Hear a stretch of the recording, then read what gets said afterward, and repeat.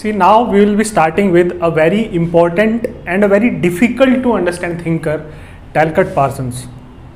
And before proceeding with Talcott Parsons, and there was this query in one of the comments ki, uh, whether I'll be able to complete uh, this entire sociology syllabus by mains.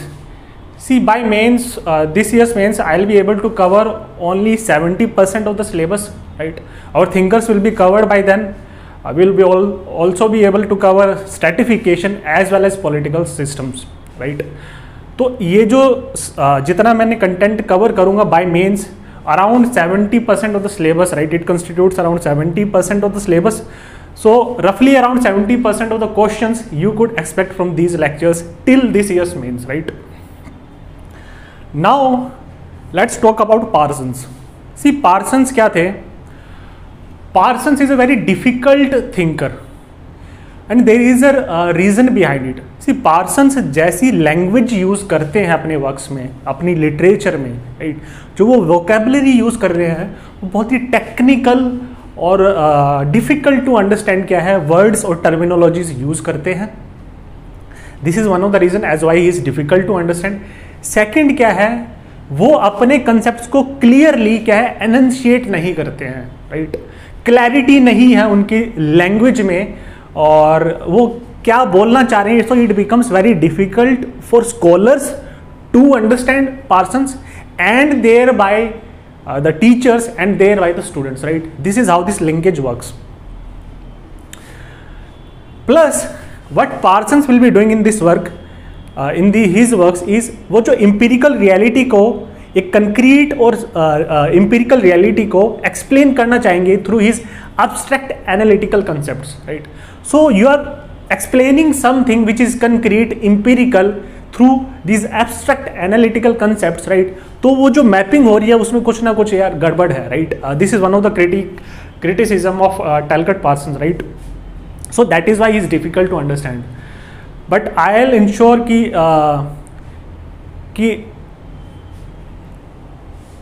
the books right? The books that uh, i studied uh, and thereby uh, it becomes easy for you to read any book or any uh, literature or even research paper about parsons right? So i'll try to decipher and deconstruct weber and to uh, make him as simple for you as possible to understand right so i'll put in i've already put in much efforts right? That is why i, uh, I posed for a certain amount of time because uh, parsons is a very difficult uh, thinker to understand. So we i had to deconstruct or decipher uh, his concepts in a manner so that it becomes very easy for you to understand right? So uh, now i'll be starting with talcott parsons right? See talcott parsons kya the? Uh, he was an American sociologist. Talcott Parsons was an American sociologist. उनकी जो first book थी that is the structure of social action it was published in 1937 this time line is relevant then he published is second book the social system in 1951 right so at the time of at the time when he was publishing his works, he was teaching in harvard, right?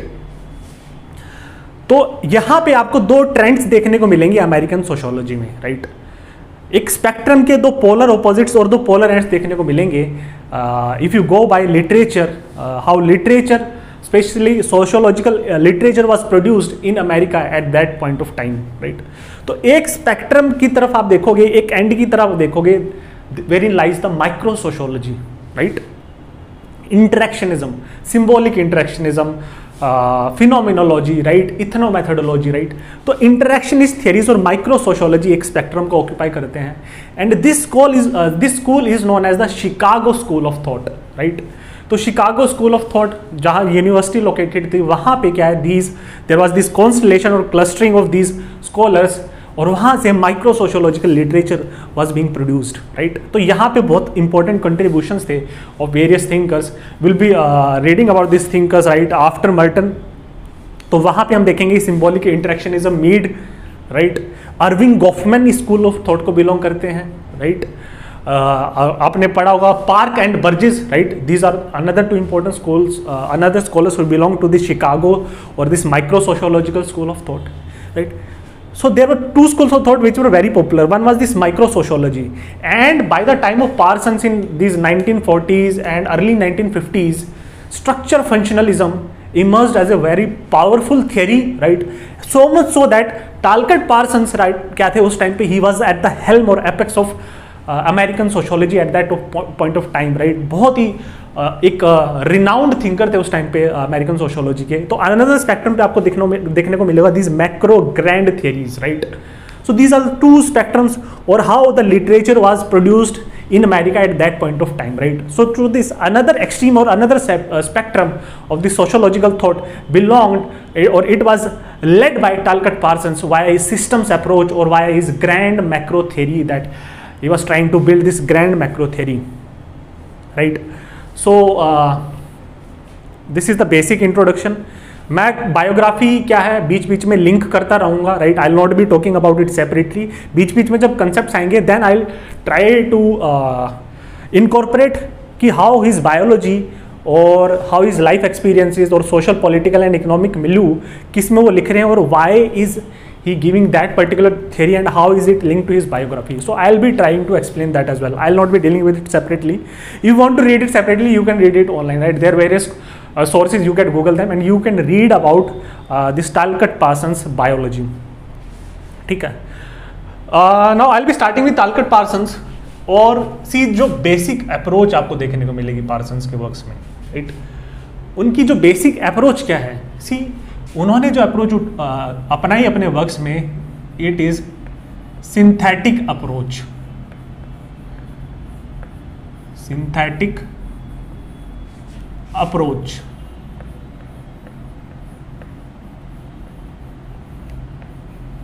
right तो ये क्या है? Parsons क्या करेंगे? Synthesis करेंगे. Synthesis करेंगे. कैसे करेंगे? see he will be picking concepts right he will be studying or picking concepts from multiple disciplines right from multiple disciplines multiple disciplines आपको उनके वर्क्स में देखने को मिलेगा so he will be picking this concept from this different different disciplines और different domains of knowledge और different subjects he will picking this concept right multiple disciplines right as well as multiple scholars or perspectives. Right.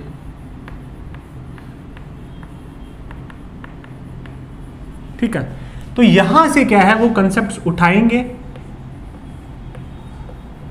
Right right? इन concept का synthesise करेंगे।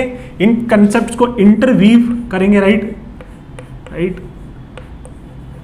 Concept को interweave interlink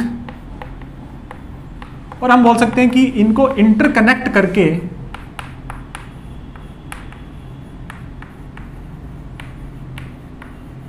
क्या है?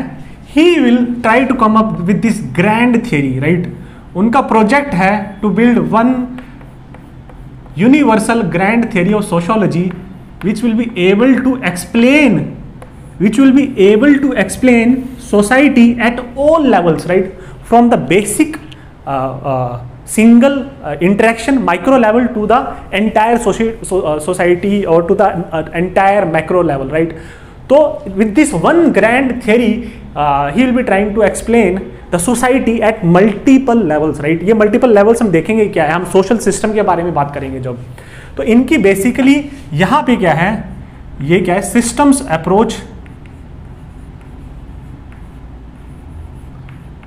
आपको इनके वर्क्स में देखने को मिलेगा। ठीक है?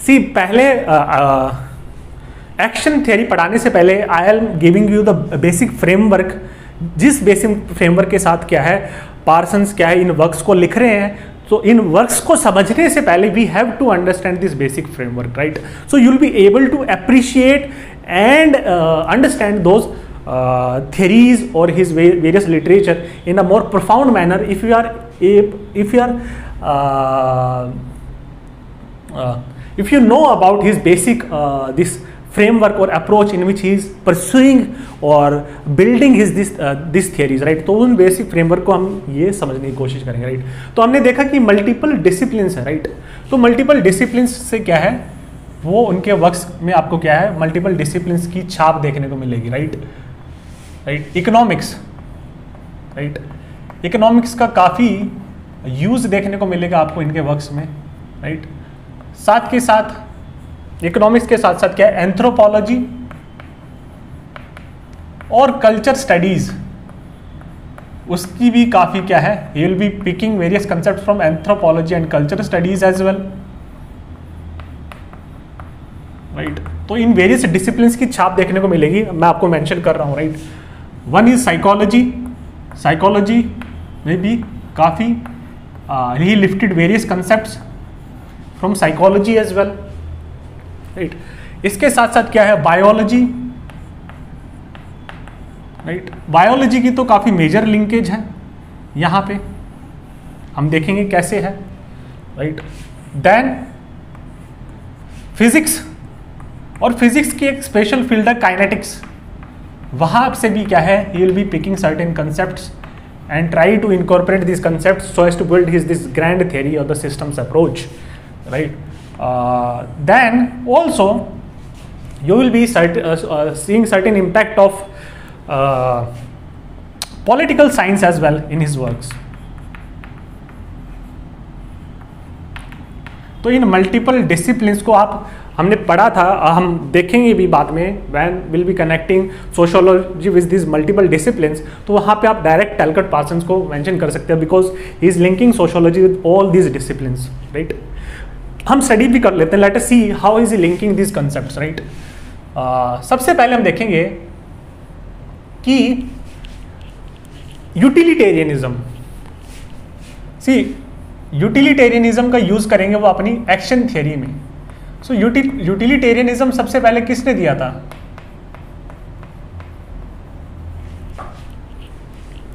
आपका यूटिलिटेरियन थियरी बैंथम मिल वो देखने को मिलेगा right before studying how this he what kind of concept right you you won't be able to understand this concept as of now but you write it down you'll be able to understand this concept actually pursue his theory right see multiple scholars का भी क्या है, आपको यहाँ पे impact देखने को मिलेगा। ठीक है? चार मेजर स्कॉलर्स जो थे, जो इनको इम्पैक्ट कर रहे थे, जहाँ से बहुत ही ज़्यादा इंस्पायर्ड है one is Max Weber right Max Weber का इम्पैक्ट देखने को मिलेगा। ठीक है? Then Emile Durkheim Emile Durkheim का भी क्या है? इम्पैक्ट देखने को मिलेगा इनके वर्क्स में आपको। राइट दिस मल्टीपल स्कॉलर्स और multiple perspectives then famous psychologist Sigmund Freud right तो सिगमेंट फ्रूड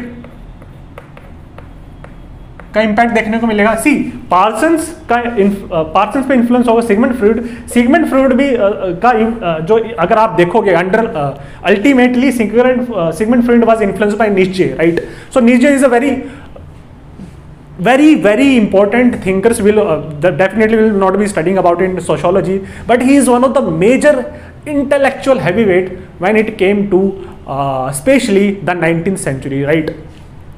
तो नीचे का जो वर्क्स uh, का जो इम्पैक्ट है वो बहुत मेजर स्कॉलर्स में देखने को मिलता है। एंड विलफ्रेडो पैरेटो राइट इनके वर्क्स का आपको क्या है? इम्पैक्ट देखने को मिलेगा और इन्फ्लुएंस देखने को मिलेगा।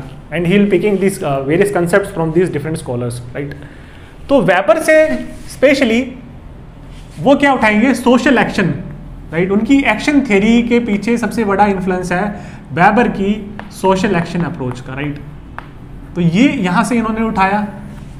ठीक अपनी थ्योरी में इनकॉर्पोरेट किया। डुरखाइम से स्पेशली क्या है?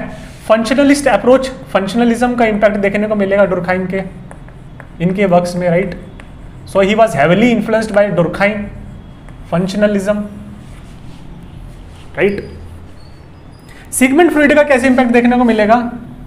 सी हम देखेंगे, जब हम एक्शन थ्योरी पढ़ेंगे तो पार्सन्स बोलते हैं कि man is pursuing certain goals right so that is that is why is manifesting a particular course of action in order to attain certain goals right ये गोल्स कहाँ से these goals man pursuing because there are these internal drives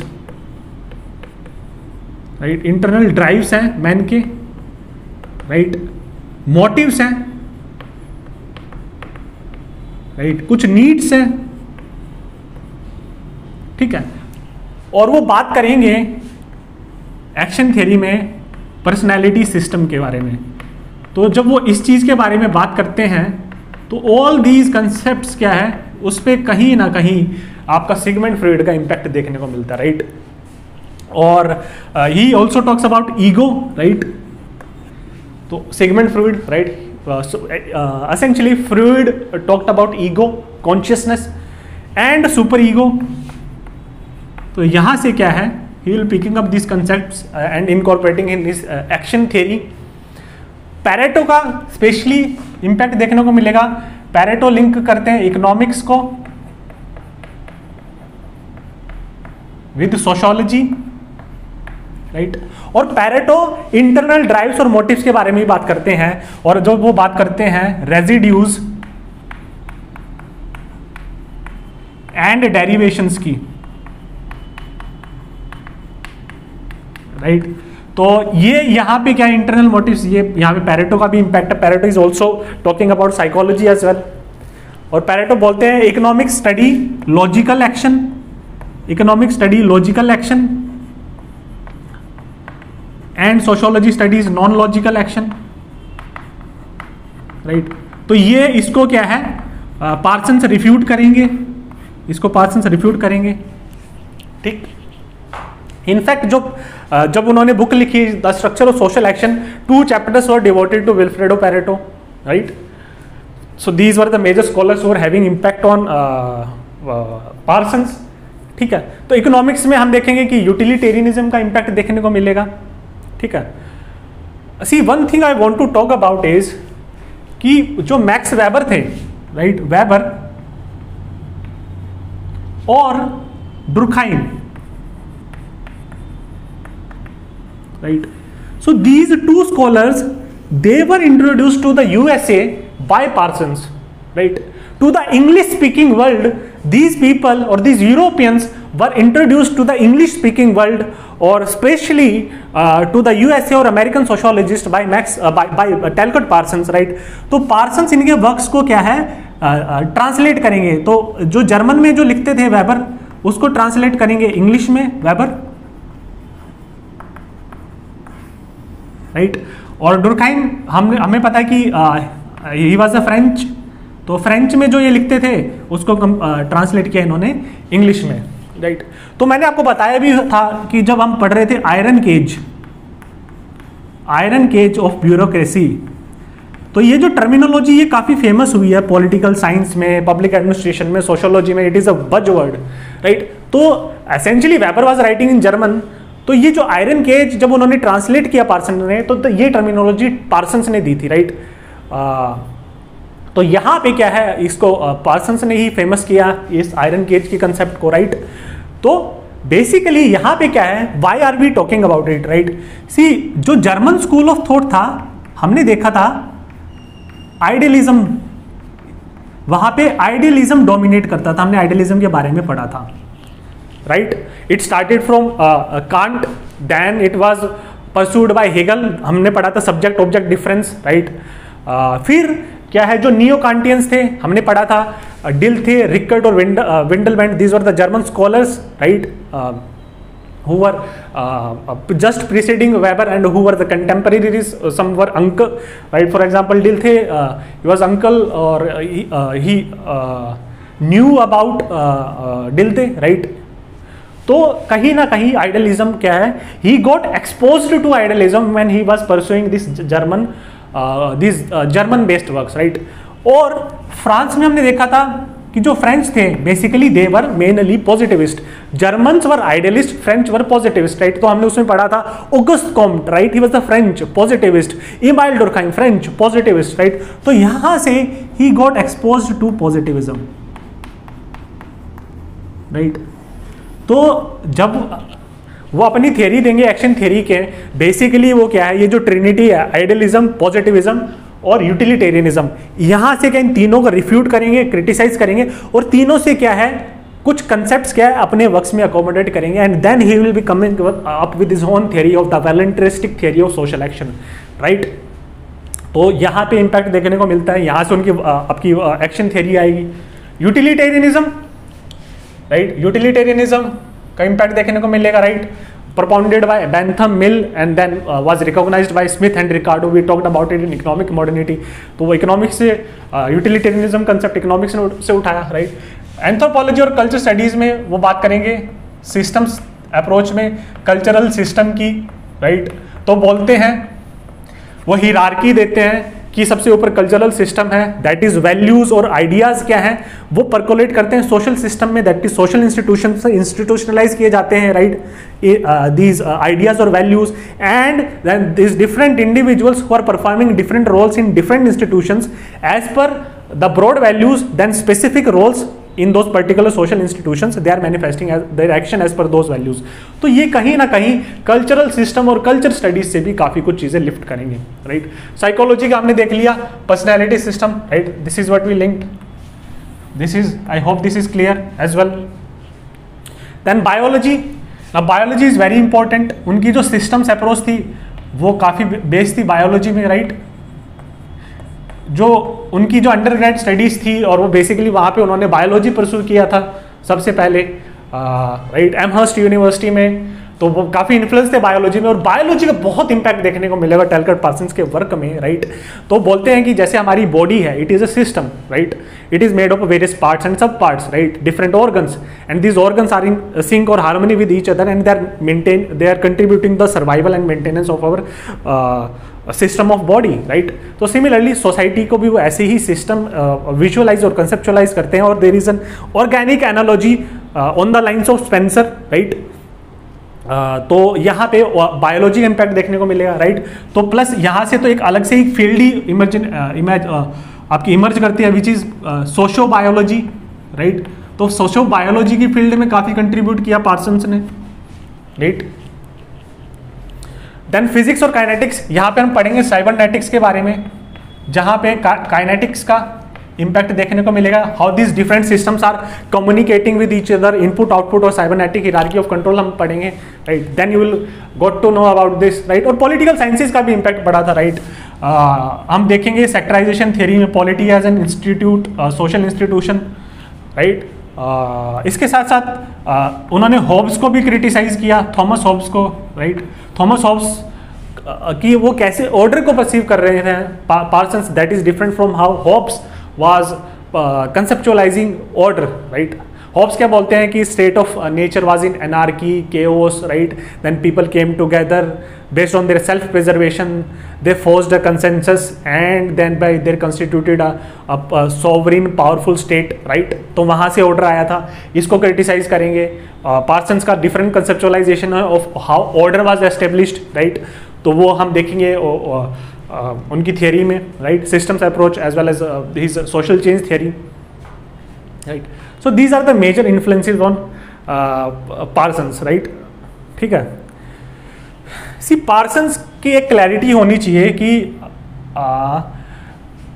Parsons basically तीन phase में लिख रहे हैं। One is पहले phase में वो अपनी एक्शन थियरी देंगे राइट जहाँ पे वो 1937 में स्ट्रक्चर ऑफ़ सोशल एक्शन लिखेंगे राइट यहाँ पे वो कहीं ना कहीं इनके वर्क्स में बेसिकली हालाँकि इनका वर्क्स जो था स्टार्टिंग से ही कंसेप्चुअलाइज था एज माइक्रो सोशोलॉजी लेकिन यहाँ पे क्या माइक्रो सोशोलॉजी के एलिमेंट्स भी देखने को मिलते हैं और वो बोलते भी कि एक्शन को वो वॉलेंटरिस्टिक बोलते हैं राइट वॉलेंट्री एक्शन बोलते हैं। तो यहाँ पे from an actor's perspective is dealing with sociology तो माइक्रो सोशोलॉजी के एलिमेंट्स देखने को मिलेंगे यहाँ पे इनके फ़र्स्ट फेस में राइट हालाँकि वो ये भी बोलते हैं कि this action is shaped in terms of this broad cultural values right तो एसेंशियली उनका एम तो वही है the constructing a micro sociologist लेकिन यहाँ पे माइक्रो सोशोलॉजी देखने को मिलता है राइट right? और क्या है आफ्टर दैट सिस्टम्स अप्रोच की तरफ़ वो बढ़ते हैं।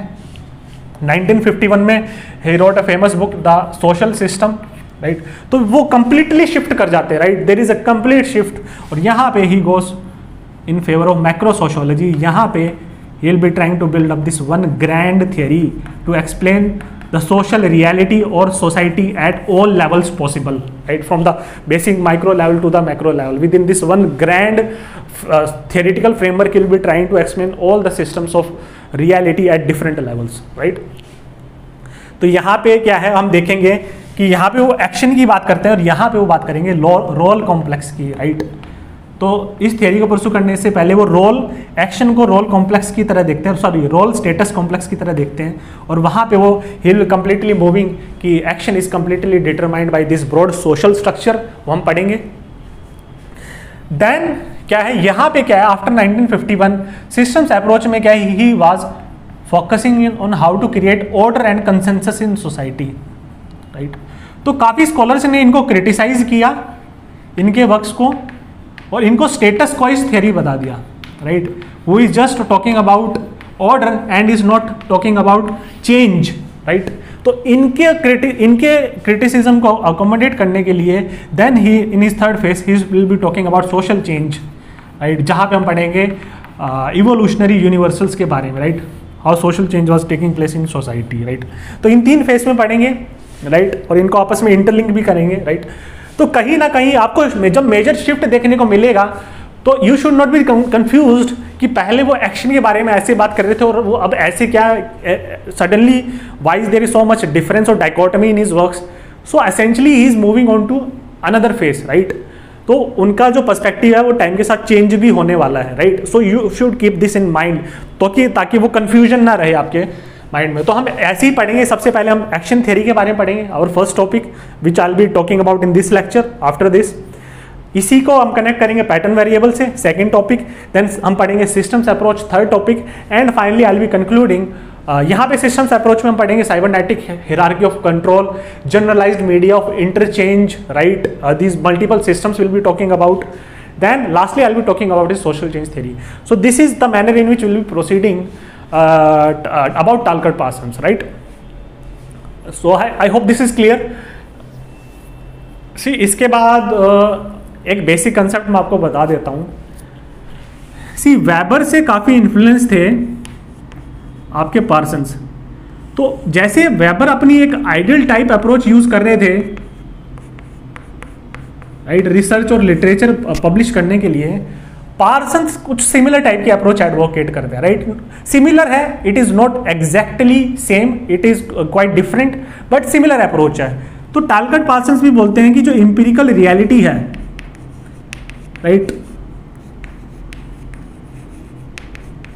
राइट उसको टोटलिटी में we can not understand it right rather हम क्या है, इस इंपेरिकल रियलिटी को, के जो डिफरेंट एलिमेंट्स हैं उनको कैप्चर कर सकते हैं डिफरेंट एलिमेंट्स की, को हम कैप्चर कर सकते हैं और इन डिफरेंट एलिमेंट्स को हम एक्सप्लेन कर सकते हैं with the help of certain abstract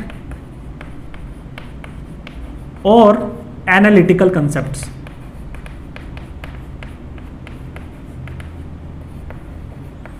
right certain abstract analytical concept की मदद से हम क्या है इंपेरिकल रियलिटी को और डिफरेंट एलिमेंट्स को कैप्चर कर सकते हैं। तो इन्हीं डिफरेंट एलिमेंट्स को क्या है, इन कंसेप्ट को जब वो इंटरव्यू और इंटरकनेक्ट और इंटरलिंक करेंगे, तब ग्रैंड थेरी ऐसे भी जनरेट होगी राइट ना तो प्रॉब्लम हेयर इज़ कि यहाँ पे see reality is very concrete right it is fact based और you know that it is concrete इसी रियलिटी को वो बड़ी एब्स्ट्रैक्ट मैनर में राइट एनालिटिकल और कंसेप्ट की हेल्प से इसको एक्सप्लेन कर रहे हैं राइट तो यहाँ पे थोड़ा सा मिसमैच देखने को मिलेगा right because you can not capture the reality और यहाँ पे क्या है, उस एब्स्ट्रैक्ट कंसेप्ट को एक्सप्लेन की हेल्प से बड़े ही एब्स्ट्रैक्ट और टेक्निकल कंसेप्ट की हेल्प से इस कंक्रीट रियलिटी को एक्सप्लेन करेंगे।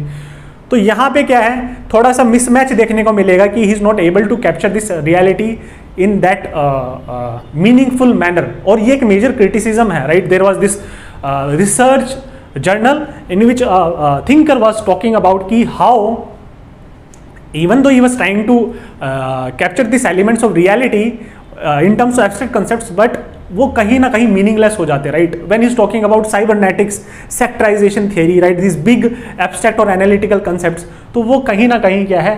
ये जब एब्सट्रैक्ट एनालिटिकल कंसेप्ट्स होंगे तो यहाँ से this is what make it difficult to for you to understand because you won't be able to exactly correspond और match it with the ultimate concrete reality because how could you connect concrete with something which is abstract right so you'll be talking about the systems concept right uh, cybernetic theory and then uh, this sectorization theory, right? So these uh, evolutionary universals, right? So he's uh, deliberately using these abstract concepts.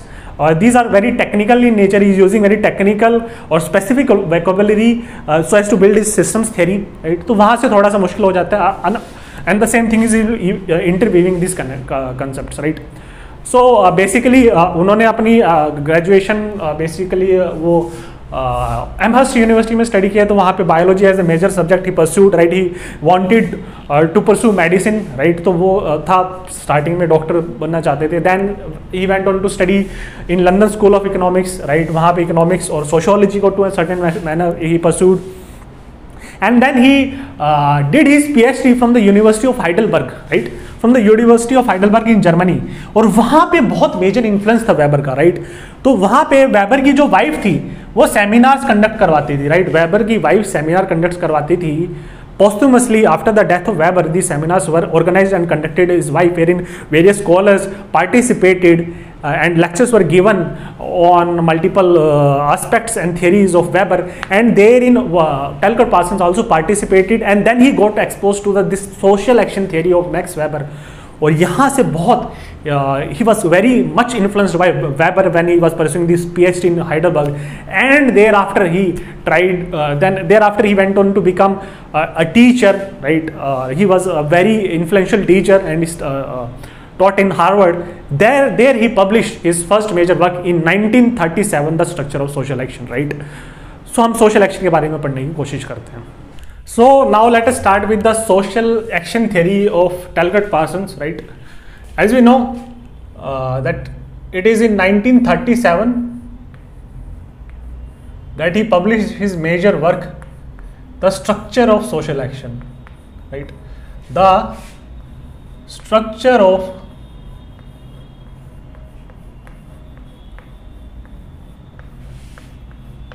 social action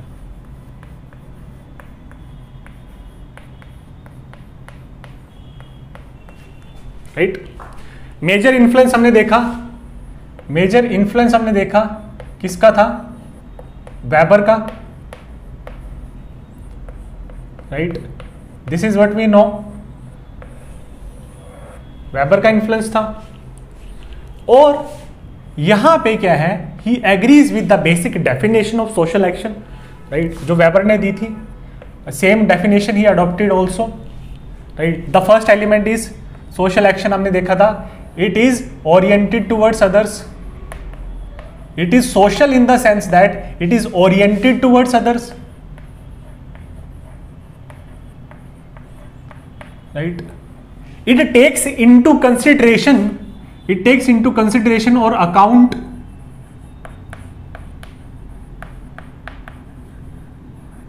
the presence of others right this is social action Now these others might not be physically present right हमने ये देखा so it involves basically it involves more than one individual right more than one individual तो यहाँ पे बेसिकली क्या है वो एक इंटर एक्शन सिचुएशन की बात कर रहे हैं किसकी बात कर रहे हैं इंटर एक्शन सिचुएशन की when more than one individual is involve right inter action situation right this is interaction so he basically agrees with this definition of social action the second element of definition of social action is this action is meaningful right this is action is meaningful right इसके पीछे क्या है meanings and motives है right he agrees with it it is performed by the conscious actor, right? Performed by a conscious actor. हमने देखा था?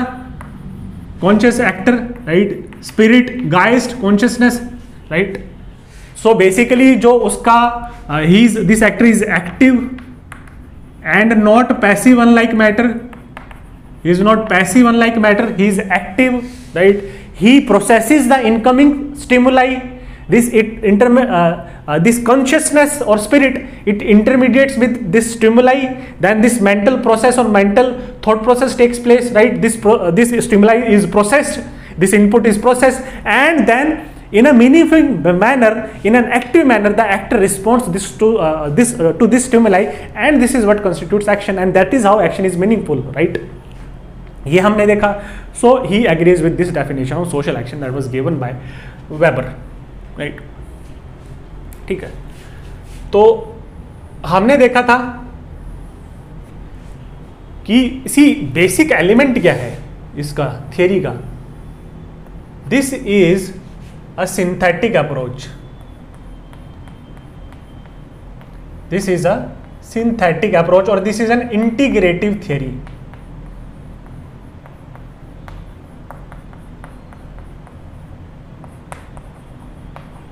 तो किन चीज़ों से इंटीग्रेट करती है राइट सी तीन स्कूल्स ऑफ़ थॉट जो थे पॉजिटिविज्म कैसे एक्शन को देखते हैं राइट आइडियलिस्ट कैसे एक्शन को देखते हैं, और यूटिलिटेरियनिज्म कैसे और यूटिलिटेरियंस कैसे एक्शन को देखते हैं राइट तो इन तीनों को से क्या है?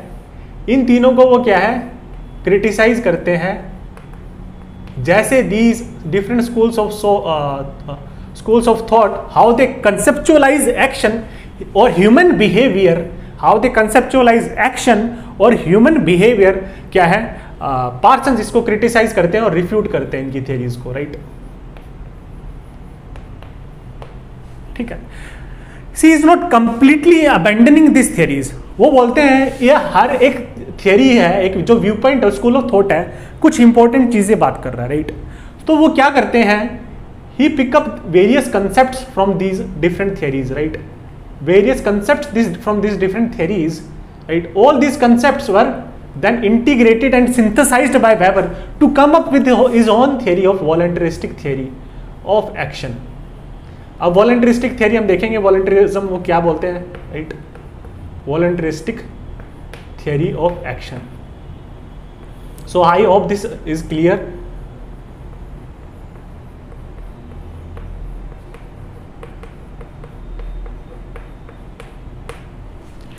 तो तीनों को हम परसू करते हैं कि तीनों के बारे में वो क्या क्रिटिसिज्म देखते हैं, कैसे रिफ्यूट करते हैं और किन किन एलिमेंट्स को इन डिफरेंट थेरीज से पिक करते हैं और किन किन कंसेप्ट को इन डिफरेंट थेरीज को पिक करते हैं। फिर इन डिफरेंट कंसेप्ट्स को इंटरलिंक करते हैं इंटरव्यू करते हैं इंटरकनेक्ट करते हैं सिंथेसाइज करके एक इंटीग्रेटिव थेरी देते हैं। That is by goes by the name the voluntaristic theory of action right तो सबसे पहले will be talking about utilitarianism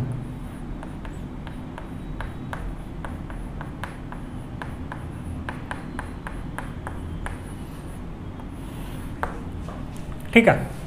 हमने देखा था utilitarianism I covered utilitarianism in detail when was I was talking about economic modernity तो वो जो चार पाँच लेक्चर्स हैं which are not directly related to syllabus right they form the basic उसको हम देखेंगे कि जैसे हम इकोनॉमिक मॉडर्निटी के बारे में यूटिलिटेरियनिज्म के बारे में पढ़ रहे हैं they form the basic right हमने पढ़ा था बैंथम और मिल हमने देखा था कि बैंथम जर्मी बैंथम ने थेरी दी थी यूटिलिटेरियनिज्म की की राइट इसको जॉन स्टुअर्ट मिल ने भी एग्री किया इसी थियरी में कंट्रीब्यूट किया right and basically by another see these were economist as well right तो इकोनॉमिक्स बेसिकली यूटिलिटेरियनिज्म कंसेप्ट काफ़ी डोमिनेट करता है इकोनॉमिक्स में। And this was agreed to agreed to by Adam Smith and Ricardo this is what is studied in economic modernity right तो मैं detail में cover नहीं करूँगा, करवाऊँगा राइट right? Now, how these utilitarianisms, uh, utilitarianist scholars, how they are conceptualizing or viewing action or behavior of man, right? तो ये बोलते हैं यहाँ पे कि दीज यूटिलिटेरियंस ये बोलते हैं कि they conceive man as rational utility maximiser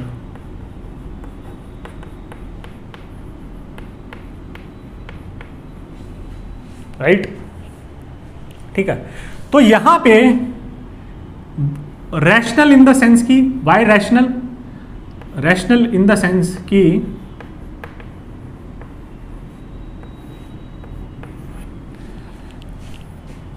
ये जो है यूटिलिटेरियंस ये क्या बिलीव रखते हैं कि जो एक्टर है, वो गोल सीकिंग है। Right right? एक्टर्स क्या है? कुछ गोल सीक कर रहा है right he wants to achieve something right कुछ भी वो एक्टिविटी कर रहा है there is some certain aim और टारगेट और goal that he wants to achieve right तो यहाँ पे बेसिकली हम इसको लिंक कर सकते हैं इस टाइप के एक्शन को to zweck rational action right zweck rational action that we studied in Weber right goal seeking है तो यहाँ पे जो एक्टर है, वो रैशनल है राइट उसकी मीन्स एंड ओरिएंटेशन है। किन मीन्स का यूज़ करके, किन मीन्स का यूज़ करके एंड्स को अफेक्टिवली क्या है? अकम्प्लिश किया जाए। गोल्स को अफेक्टिवली अकम्प्लिश किया जाए। तो actor is basically goal seeking is using various means to attain certain और अचीव सर्टेन गोल्स और एंड राइट और he is rational in the sense की ये जो मीन्स वो सेलेक्ट करता है he is selecting this means on the basis of logic and reason right on the basis of facts right so objectively objectively on the basis of objectivity he is pursuing these means in a non emotive manner in a non emotive manner तो हमने पढ़ा भी था ज्वैक rational action में when we were talking about Weber right तो यहाँ पे क्या है? वो क्या है? कंप्लीटली क्या प्लानिंग राइट और डेलिब्रेशन के साथ क्या है? एनालाइज करता है मार्केट सिचुएशन को राइट right? तो यहाँ पे बेसिकली इकोनॉमिस्ट बात करते हैं इकोनॉमिक बिहेवियर इकोनॉमिक एक्शन के राइट इकोनॉमिक और मार्केट सिचुएशन में क्या राइट right? इकोनॉमिक्स और मार्केट सिचुएशन में क्या है?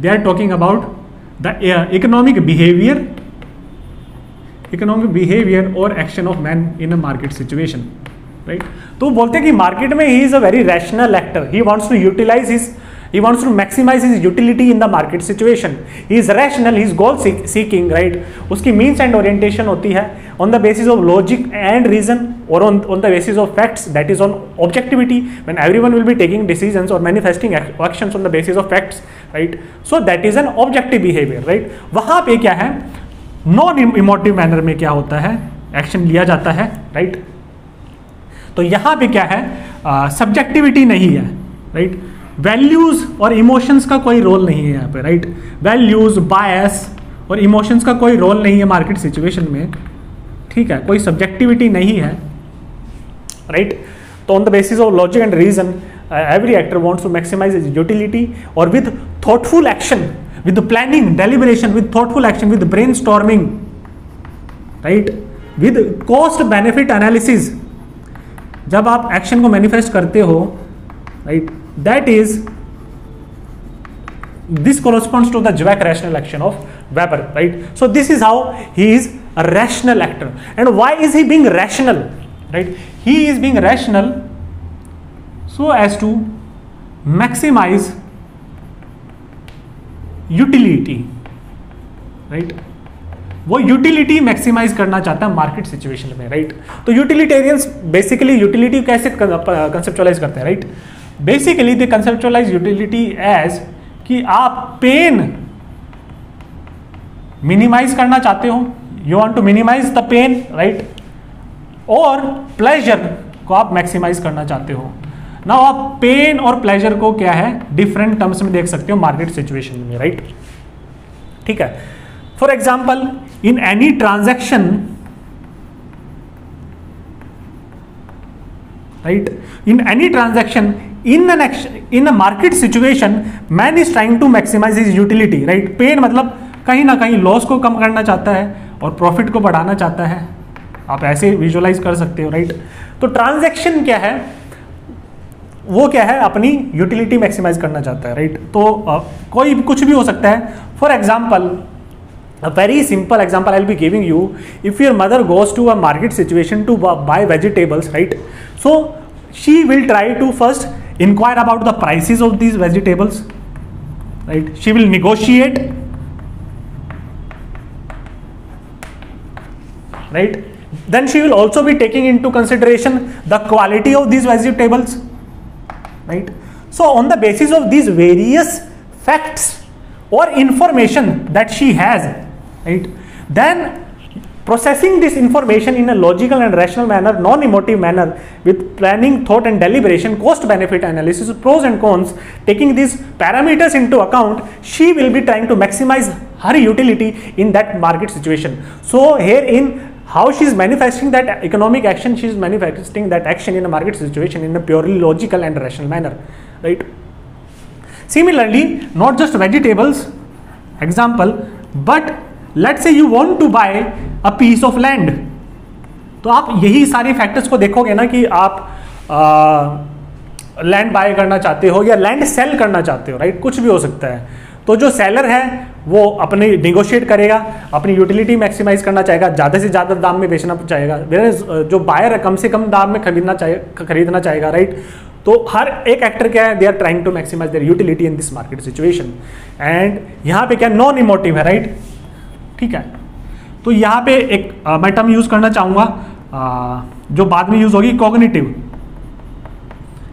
तो इसमें क्या है? कॉग्निटिव मोटिव है। हम पढ़ेंगे मोटिव्स और वैल्यूज़ के टाइप्स ऑफ़ एक्शन तो कॉग्निटिव मोटिव इन्वॉल्व है राइट इन्फॉर्मेशन आप प्रोसेस कर रहे हो कॉग्निशन इन्वॉल्व है। और लॉजिकल रैशनल मैनर में इंफॉर्मेशन प्रोसेस कर रहे हो और देन एक्शन मैनिफेस्ट कर रहे हो। एंड से आप सर्टेन एंड्स आपने डिफाइन किए हो। You are goal seeking and you are weighing different means and you are choosing one of the means uh, uh, on the basis of this planning thought deliberation brainstorming cost benefit analysis right ठीक है तो यहाँ पे क्या है एक यहाँ से आपको देखने को मिलेगा कि आप यहाँ पे क्या है एब्स्ट्रैक्शन और जनरलाइजेशन कर सकते हो right see you could actually predict the behavior of men it is based on logic and facts and reason right तो ये क्या behaviour it is an objective behaviour तो ये since this is objective behaviour now in the similar situation every one will be manifesting this particular behaviour because they consider man as rational utility maximizer right So since everyone will be behaving in the manner, uh, uh, uh, behaving in the same manner, the behavior is objective. The, the, behavior is not subjective. It is not based on values, preferences, or bias. It is based on pure logic, facts and reason. That is why this is rational action, right? It is based on cognition, information processing, right? Thought, deliberation, cost benefit analysis, planning, brainstorming, right? It is based on maximization of this utility So everyone is doing this, everyone will, will be manifesting the same action. So thereby you could come up with this general laws or theories in economics, right? General laws or theories in economics. Right हमने पढ़ा था theory of surplus value the law of capitalist accumulation right all these various laws the law of supply and demand you will be reading in economics तो because these laws are possible because they consider man as rational utility maximizer this is their assumption ठीक है? Now सी अब इसमें क्या है? Parsons इसमें क्या है? He agrees with two things he agrees with two things और दो यहाँ से इंपॉर्टेंट कंसेप्ट और पॉइंट्स पार्सन क्या उठाते हैं? First he agrees that actor is goal seeking this is the first concept that he link uplift और takes from this utilitarian theories right action actor is goal seeking right? He agrees with it. Second, he says actor is rational as well. Right? लेकिन I am making putting a star over here लेकिन जो rational को जैसे conceptualise और define करते हैं how Parson is conceptualizing और defining what is rational is different from how utilitarians are conceptualizing what is rational right वो यहाँ पे उनका डिफरेंट वे में वो बोलेंगे वट इज़ रैशनल तो वो यहाँ पे मॉडिफिकेशन लेके आएँगे what is rationality and how an actor is being rational right तो ये एलिमेंट्स उठाते हैं राइट ठीक है? Plus not only this see utilitarians और क्या बिलीव रखते हैं कि this is the first point second वो ये रखते हैं कि actor is autonomous and atomistic कि जब एक्टर अपना एक्शन मैनिफेस्ट कर रहा है एक्टर जब अपना एक्शन मैनिफेस्ट कर रहा है तो इस पे क्या है? जब वो अपना रैशनल एक्शन मैनिफेस्ट करेगा economic behaviour economic action manifest करेगा तो जब वो वेरियस डिसीजंस लेगा वेरियस मीन्स सेलेक्ट करेगा या कौन से एंड्स वो डिफाइन करेगा, वो क्या है? वो कंप्लीटली उसकी चॉइस है। कि कौन से मीन सेलेक्ट करने हैं, उसके पास पूरी ऑटोनॉमी होगी, कौन से गोल्स डिफाइन कर रहे हैं राइट तो कोई एक्सटर्नल कंस्टेंट नहीं है। कोई एक्सटर्नल कंस्टेंट नहीं है एक्टर पे। This is the second proposition of utilitarian theories now यहाँ पे क्या है? इन दो के साथ वो क्या एग्री करते हैं पार्सन्स लेकिन यहाँ पे भी वो पार्शली एग्री कर रहे हैं राइट रैशनल तो है, लेकिन हाउ ही इज़ कंसेप्चुअलाइजिंग और defining what is rational it is qualitatively और significantly different from how other scholars और this utilitarian scholars are conceptualizing as to what is, what constitutes a rational action, right? Now, what are the differences? Differences क्या है? सी पहला वो difference ये बोलते हैं कि यहाँ भी डिसएग्री करते हैं। फ़र्स्ट इज़ यहाँ भी डिसएग्री करते हैं। This is on this thing वो इसको रिजेक्ट करते हैं। वो बोलते हैं actor right is constrained right actor is constrained there is an external constraint that is acting on an actor right तो वो उसका एक्शन क्या it is not completely autonomous और it is not based on this is completely और entirely based on choice it might be to a partial extent based on uh, to some extent it might be based on choice but it is shaped or influenced or constrained by norms or values of culture right this action is shaped by values और वहाँ पे वो क्या है? Completely values को क्या है? Reject कर रहे थे राइट ठीक है? वो बोलते हैं कि there are two types of constraints that act on an actor हम देखेंगे there are two type of constraints that act on an actor one is the constraints of this culture right? Culture culture values और norms के जो constant होते हैं, उनको बोलते हैं normative constraints. right there is no complete autonomy. Actor is not completely atomistic.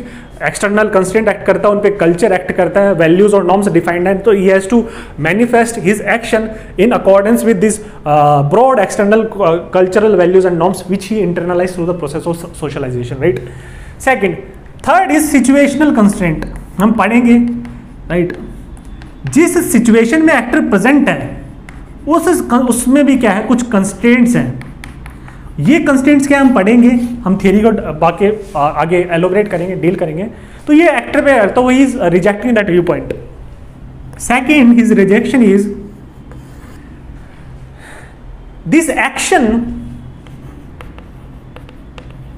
जो बोलते हैं it is completely cognitive it is based on logic facts and reason right it is based on cognition वो बोलते हैं action could be cognitive it could be based on facts and information but action में क्या है? Cathectic elements भी हो सकते हैं. कैथेटिक कैथेटिक एलिमेंट्स भी हो सकते हैं. That is action could be based on emotions as well right for example आपकी मदर क्या है? सर्टेन सब्ज़ी चाहे उनके दाम और हेल्थ पे कुछ भी इंपैक्ट हो लेकिन आपके घर में कोई खाएगा नहीं right there is certain liking और disliking for particular vegetable then your mother is not going to purchase that vegetable right तो ये जो वो मीन्स और जो एंड गोल सेलेक्ट कर रहे हैं उसमें कहीं ना कहीं एक इमोशनल uh, और लाइक uh, और डिसलाइक लव और हेट वाला भी एंगल आ जाता है राइट तो एक्शन में क्या है वो बोलते हैं इमोशंस भी प्रेजेंट हो सकते हैं कैथेटिक वैल्यू कैथेटिक ओरिएंटेशन भी हो सकता है एक्टर का राइट इमोशंस बेस्ड हम देखेंगे बाद में बोलते हैं एक्सप्रेसिव एक्शन बोलते हैं इसे राइट जो विच इज़ बेस्ड ऑन जिसमें इमोशंस डोमिनेंट होते हैं राइट तीसरा this are is two broad rejection of this theory right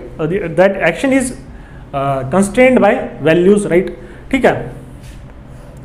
हम देखेंगे तीसरा रोल्स और वैल्यूज़ क्या है? बड़ा ही इंपॉर्टेंट रोल प्ले करते हैं राइट right? यहाँ पे क्या है? एक्टर मीन्स और एंड्स को क्या है? एक्टर मीन्स और एंड्स को क्या है? अपनी मर्ज़ी से, अपने कोई भी गोल सेटअप कर सकता था मीन्स अकम्प्लिश कर मीन्स यूज़ कर सकता था राइट right? यहाँ पे बोलते roles and values determine which means to follow to achieve which kind of goals और एंड्स राइट हम देखेंगे वो कैसे है। So this is the basic criticism. These are the elements he rejected. These elements he, these elements he picked up. This is rejected from this utilitarian perspective. Now i'll be talking about positivism and idealism right? Now let us talk about the other two schools of thought and what kind of concepts is parsons picking up from these schools of thought and what kind of uh, elements of uh, explanation of those schools of thought he is rejecting refuting or criticizing right तो हम पढ़ेंगे अभी positivist right हमने already positivist के बारे में पढ़ चुके हैं तो I won't be explaining it in detail positivism right तो पॉजिटिविस्ट कैसे परसीव करते हैं एक्शन को राइट right? पॉजिटिविस्ट क्या बोलते हैं कि एक्शन और human behaviour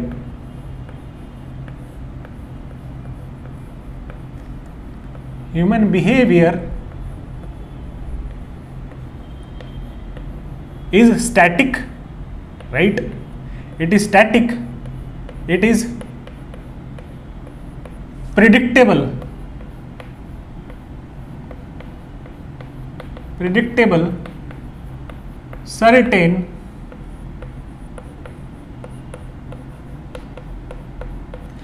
Like the behavior of matter. Right? Like the behavior of matter in natural sciences because it is determined by because it is determined by shaped by or we can say it is in conformity it is in conformity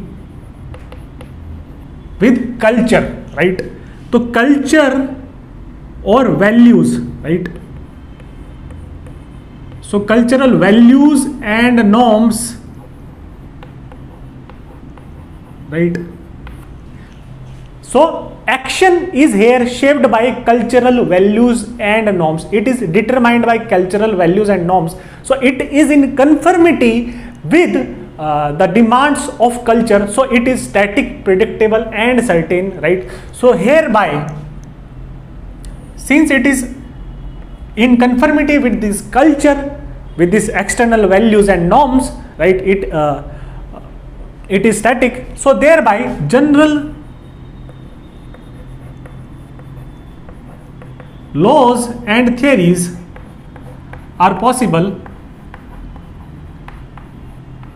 in sociology or social sciences because behavior is certain because just as the behavior of matter is certain or predictable right it is always going to react in a certain manner, manner to the external stimuli always in similar conditions right so therein since behavior is similar across these similar conditions right so it is reacting to the external stimuli in the similar manner so thereby we can uh, develop laws of this behavior right so similarly यहाँ पे external stimuli of culture values और norms उसकी conformity में है ठीक now this is the basic crux और arguments of positivism अब idealist क्या बोलते हैं ये आइडियलिस्ट हमने पढ़े थे। डिल थे। रिकल्ट। विंडलबेंट राइट ये वो क्या बोलते हैं कि एक्शन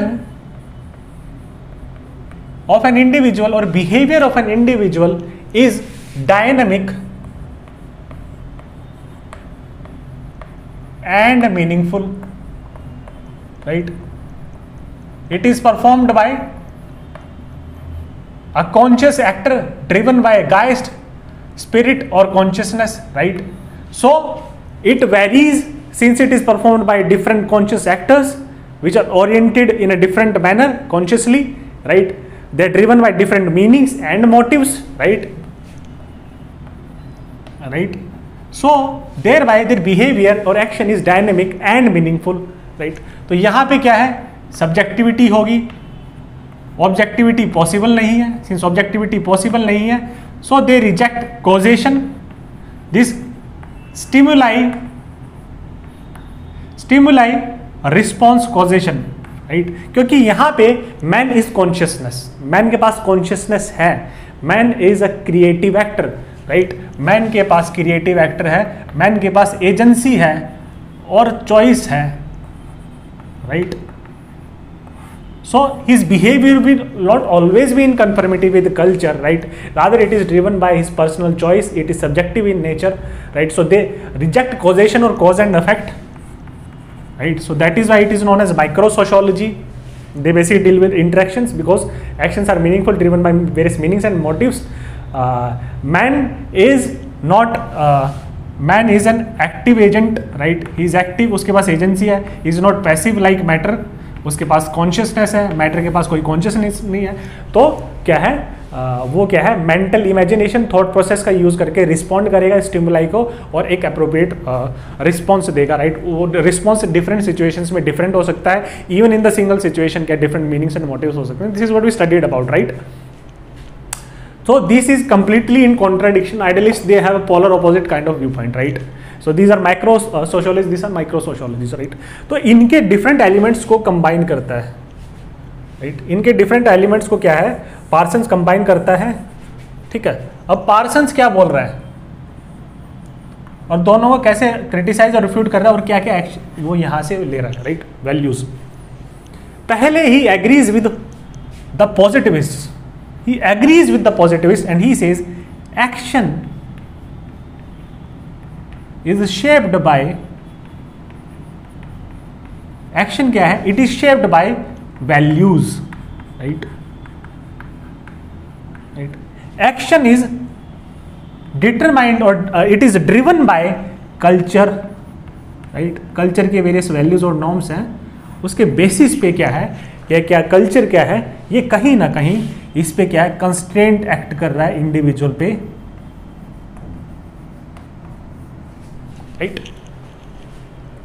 लेकिन वो बोलते हैं कि ये जो कल्चर है, ये कहीं ना कहीं हद तक क्या है? Range of choice there is range of choice available to the actor in a particular situation right वो बोलते हैं कि कल्चरल वैल्यूज़ और नॉर्म्स का जो ब्रॉड एम्बिट है राइट right? जो कंस्टेंट है, उसी के अंदर क्या है? एक्टर एक्ट करेगा, लेकिन कुछ भी एब्सोल्युटली डिटरमाइंड नहीं है कि इस सिचुएशन में ऐसा एक्शन होना चाहिए right there is a range of choice available to the actor which is given और provided by the culture right तो ये रेंज ऑफ़ चॉइस हम पढ़ेंगे पैटर्न वेरिएबल में राइट right? ठीक है? ओरिएंटेशन जो है modes of orientation of actor could be different across actors in a particular situation right? So this range of choice or board of orientation it is provided by culture. Actor has a choice right? Here actor has a choice right? Or uh, choice to choose between these different variables right? So actor's choice is not completely autonomous right? Is not completely autonomous right? But there is some degree of uh, flexibility or freedom that is given to the actor he has certain range of choice or modes of orientation that he can choose from and he can manifest a particular form of action तो हम पढ़ेंगे pattern variable में right उसमें पाँच variable पढ़ेंगे they are place along a continuum right तो यहाँ पे क्या है एक्टर क्या है डायलेमा होता है डाइकोटमी होती है कि इसको चूज़ करें या इसको चूज़ करें या इसकी डिफरेंट डिग्री है, ये कंटिन्यूम है राइट तो यहाँ पे किसी भी पर्टिकुलर उसमें उसका ओरिएंटेशन हो सकता है पर्टिकुलर उसको चूज़ कर सकता है right so there is some kind of freedom that is given by culture right it is not completely autonomous but there is some kind of freedom that is given to act right ठीक है? तो बोलते हैं इसको। Second वो बोलते हैं कि हम सब्जेक्टिव डायमेंशन को भी क्या है, नहीं इसको क्या है रिमूव कर सकते हैं राइट वो बोलते भी हैं कि action is definitely he is agreeing with idealist action is meaningful it is driven by various meanings and motives right meanings and motives motives is very important to parson right तो यहाँ पे वो बोलते हैं कि there is some kind of subjective dimension that we have to take into account कुछ subjective dimension हमें लेनी पड़ेगी। राइट एक्टर के क्या? एक्टर डेलिब्रेट कर सकता है चूज़ कर सकता है. There is some kind of autonomy that is given right तो वो बोलते हैं कुछ इंटरनल मीनिंग्स और मोटिव्स भी क्या है, उसके एक्शन को ड्राइव करते हैं. There by the actor is is a conscious actor right ठीक है. First there is a range of choice available then he is a conscious actor driven by meanings and motive there is a subjective dimension to is actor right तो हम देखेंगे भी see उसका action क्या है? It is driven by this his personal motives right his personal drives right needs और motives right now these could be based on various in, instincts and right? हम देखेंगे आगे डील करेंगे right so these could see these drives और needs और motives they could vary across different individuals right तो different individuals could have different kind of drives और motives right तो यहाँ पे सब्जेक्टिव डायमेंशन तो हमें लेनी पड़ेगी राइट और ये क्या है? ये ड्राइव्स और मोटिव्स क्या है? ये हम देखेंगे this is link to the personality system personality system से लिंक्ड है इंटरनल मोटिवेशन क्या है डिजायर्स क्या है नीड्स क्या है राइट right? सो so, ये डिफरेंट होंगी। तो डिफरेंट एक्टर्स के ऑन डिफरेंट नीड्स उनकी क्या है? डिफरेंट ओरिएंटेशन हो सकती है। डिफरेंट ओरिएंटेशन हो सकती है in an action situation right ठीक है, लेकिन आप बोलोगे कि सी यहाँ पे हो क्या रहा है? This is culture right culture is providing you a choice a range of choice right तो यहाँ पे क्या है? वैल्यूज़ आ जाती हैं, right? These are external to an individual, right? Culture is an external to an individual. It was always there. Sui generis की हम बात करते हैं जैसे सोशल फैक्ट की बात की थी डोरखाइम ने so it is internalized by us right plus this culture provides a range of choice to you it absolutely fixed कुछ भी नहीं है. There is a range of choice और autonomy it is it might why it might vary across different cultures कि वो किस type की range of choice और ऑटोनॉमी प्रोवाइड करते हैं इंडिविजुअल को. राइट फॉर एग्ज़ाम्पल ये टॉक्स अबाउट अमेरिकन सोसाइटी वहाँ पे रेंज ऑफ़ चॉइस और ऑटोनॉमी बहुत ज़्यादा इंडिविजुअल के पास. वहाँ पे इंडिविजुअलिज्म का राइज हो रहा है राइट तो वो कल्चर उसको प्रोवाइड कर रहा है राइट ठीक है. Now see this are is meaningful meaning and what is so this different orientation right these orientation क्या है डिफरेंट मोटिव्स राइट ये मोटिव्स क्या है वैक्यूम में एग्जिस्ट नहीं करते these motives are shaped by values these motives are shaped by values right तो आप उस सोसाइटी में क्या है? आप कुछ भी क्या है? आपकी मोटिवेशंस क्या है और डिजायर्स क्या है? आप उस सोसाइटी में आपकी ग्रोथ हुई है अपब्रिंगिंग हुई है सोशलाइजेशन हुई है राइट? तो आपका जो मोटिव्स हैं, कुछ ना कुछ हद तक they are shaped by values right आपकी personality is structured in terms of value right तो कल्चरल सिस्टम देखेंगे शेप करता है पर्सनैलिटी सिस्टम को। बिकॉज़ आपका वहीं से mindset attitude believe system develop होता है right now for example in the American society people are more and more going for accumulation of money because that is a capitalist society whereas eastern societies are spiritualist societies right orientalism oriental oriental based societies or occidental societies sorry now these societies the eastern society और spiritual based society जहाँ पे inner reality को accomplish करना है right तो उसमें के basis पे मटीरियलिस्टिक वैल्यूज़ उतनी नहीं है तो different kind of motives are shaped by different kind of values right तो यहाँ पे क्या है? That is why in most in the American society most and most people are focusing on materialism consumerism right उनकी needs और motivation कहाँ, यहाँ से डिराइव होती हैं राइट right? उनकी इंटरनल नीड तो थी फॉर मनी फॉर सक्सेस इसको मीट किया कि आप मनी और सक्सेस कैसे पाएँगे? तो there is some kind of values के बेसिस पे आप पाएँगे। आपकी उस सोसाइटी में सबसे ज़्यादा रिगार्डेड क्या है? मनी और सक्सेस अगर आपको पाना है then there is a structure of values उसके बेसिस पे आप उसको क्या है अकोमोडेट कर सकते हो राइट ना through this we can say कि society societal interest meets the collective interest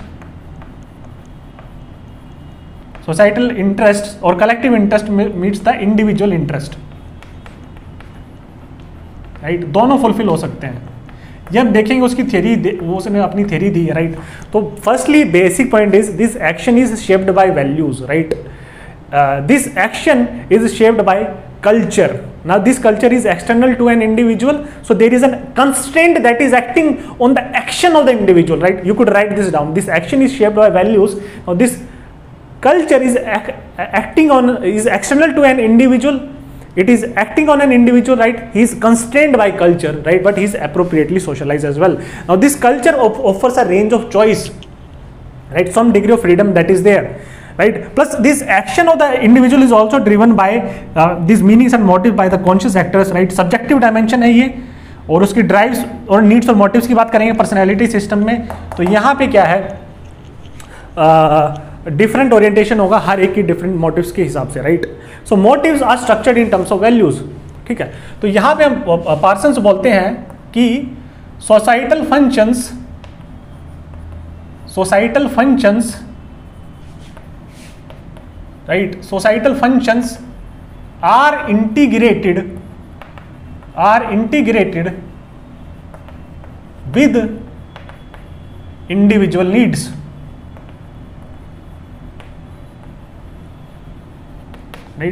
So action is shaped by values. Uh, it is shaped by culture norms ideas and beliefs. Right? Plus it is also subjective as well right it differs from actor to actors कि उसका हर एक actor का different mode of orientation होगा right different drives और motives होंगी हर एक एक्टर की राइट सम विल बी किसी का इंस्टिंक्ट होगा वो विल गो फॉर पावर किसी का इंस्टिंक्ट होगा वो will go for money but this should be constant by values culture provide करेगा अ रेंज ऑफ़ चॉइस कि this is how you could accomplish power this is how could you get get money in that society right so these needs are shaped in terms of values तो societal interest और individual interest दोनों क्या है? There is a mutualism और दोनों ही satisfy होंगे। तो societal function आपको परफॉर्म करने हैं। They are integrated with individual needs तो सोसाइटी का भी फ़ायदा हो रहा है इंडिविजुअल का भी फ़ायदा हो रहा है। जो सोसाइटी ऐसे ऑर्गेनाइज होगी और स्ट्रक्चर्ड होगी, वही अच्छी फंक्शनल सोसाइटी होगी right and third he saying is कि यहाँ पे वो पॉजिटिविस्ट के साथ एग्री करते हैं और रिजेक्ट करते हैं आइडियलिस्ट को कि grand theory is possible in the field of sociology which can explain which can explain all which can explain society at all levels right from micro to a very macro level broad level at the very societal level right हम social system से पढ़ेंगे कैसे satisfy करता है। So I hope this is clear right तो यहाँ से ultimately हम पढ़ेंगे voluntaristic theory of action voluntaristic theory of action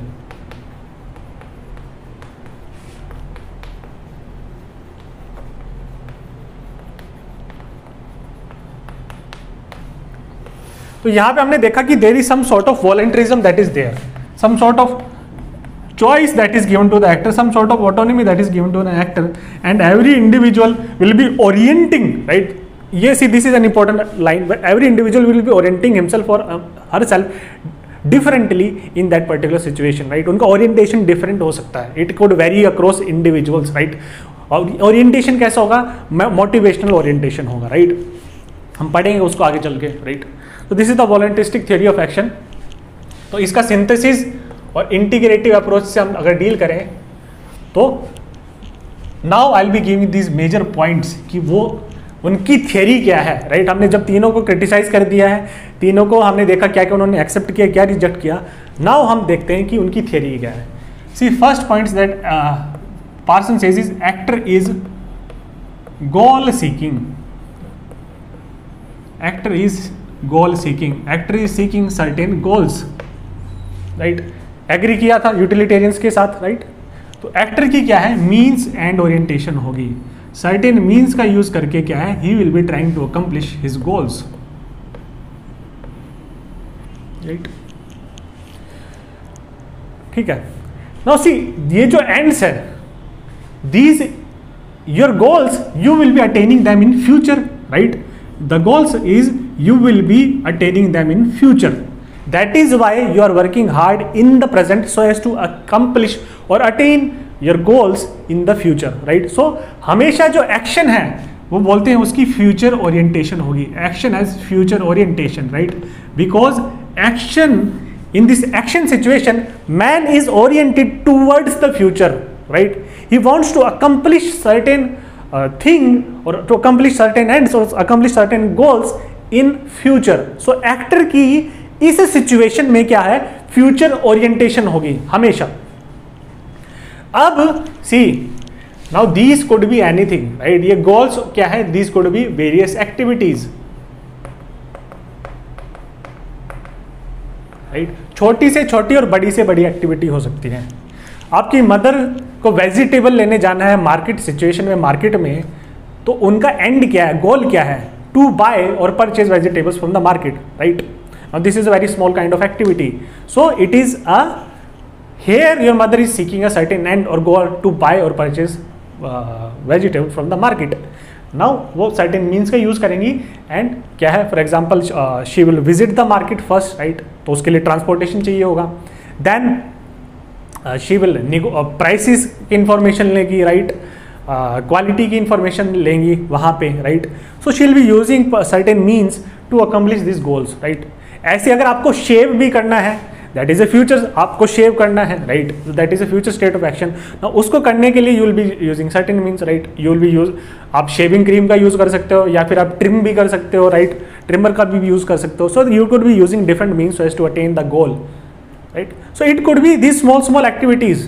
आपको मंदिर जाना है right that is your goal और एंड तो उसके लिए आप different goals different means choose कर सकते हो। आप पैदल मंदिर जा सकते हो गाड़ी में जा सकते हो राइट right? किसी दोस्त के साथ कार पोलिंग करके जा सकते हो। There could be different ways in which you could go to a temple right now these could be very complex activities as well. For example you are uh, preparing for upsc that is your goal the end goal right? तो उसके लिए क्या आपको certain means choose करने पड़ेंगे right?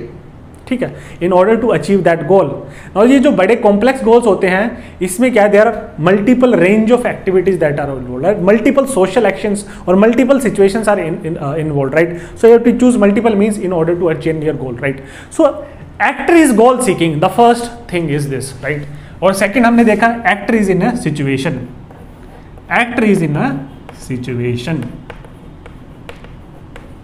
right आपकी particular situation में हो आप, ठीक है?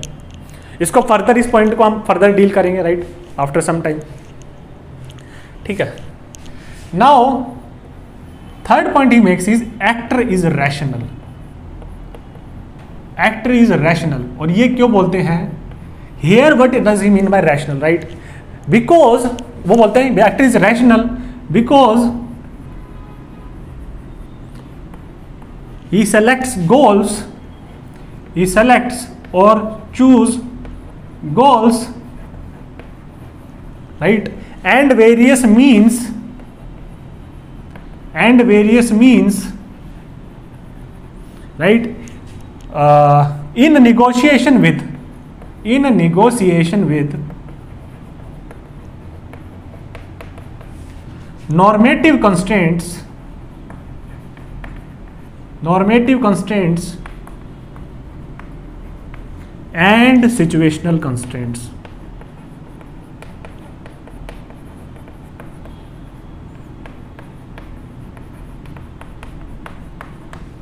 See इसका क्या मतलब है?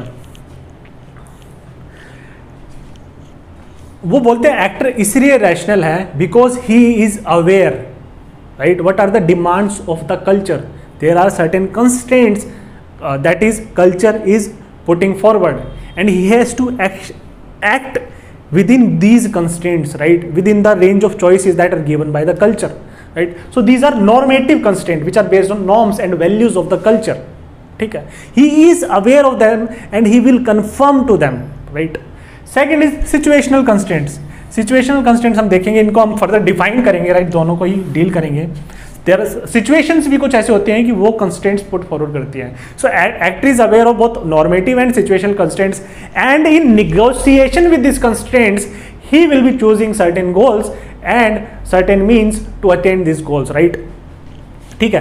तो वो कुछ भी गोल्स और मीन्स चूज़ नहीं कर लेगा। एक्टर इज़ नॉट ऑटोनमस और atomistic right he will be choosing goals which are sanctioned by that particular culture values and norms and he will be uh, choosing those means which are in negotiation with this uh, normative and situation constraints right तो यहाँ पे हम क्या देख सकते हैं see now if we could analyze I'll be trying to explain it with the help of uh, uh, this one um, diagram which you could make right uh, this diagram you could make right तो आपको सी uh, Parsons में काफ़ी diagrams देखने को मिलेंगे and this is a very good thing about Parsons कि ये diagrams क्या है, आप ड्रॉ कर सकते हो अपने आंसर्स में right so as to make it more you could say decorative right तो it will fetching you more marks see ये क्या बोल रहे हैं? This is the goal right and this is an actor, right? See this is a conceptual scheme conceptual schema right this is an actor right now actor wants to attain these goals right तो इस attain goals को attain करने के लिए क्या है various means हो सकते हैं right there could be various means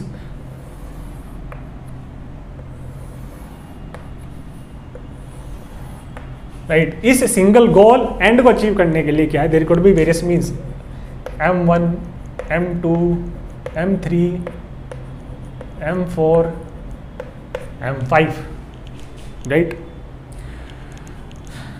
तो these are the various means मतलब ये मीन्स क्या है? These are the various courses of action that you could follow these are the various courses of action that you could follow या तो आप ये course of action या ये या ये in order to achieve your goal right लेकिन actor is aware of normative वो बोलते हैं कि नॉर्मेटिव कंस्टेंट और सिचुएशनल कंस्टेंट्स एक्ट करते हैं उस पर राइट नॉर्मेटिव कंस्टेंट्स एक्ट करते हैं।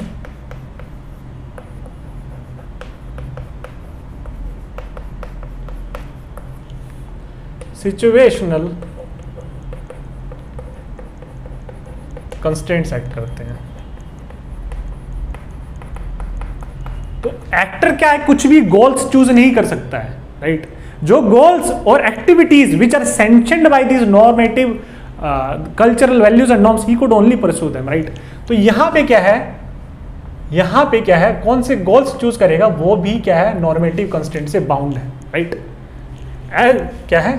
Actor is bound by this normative constraints की कौन से गोल चूज़ करने राइट प्लस कौन सा मीन चूज़ करना है, वो भी इंफ्लुएंस करेंगे normative constraints a simple example is you want to earn a lot of money right now there could be various ways और multiple courses of action which you could follow in order to achieve your goal of making money और minting a lot of money right now see making money is permissible in the contemporary societies उसको क्या है derogatory way में नहीं देखा जाता।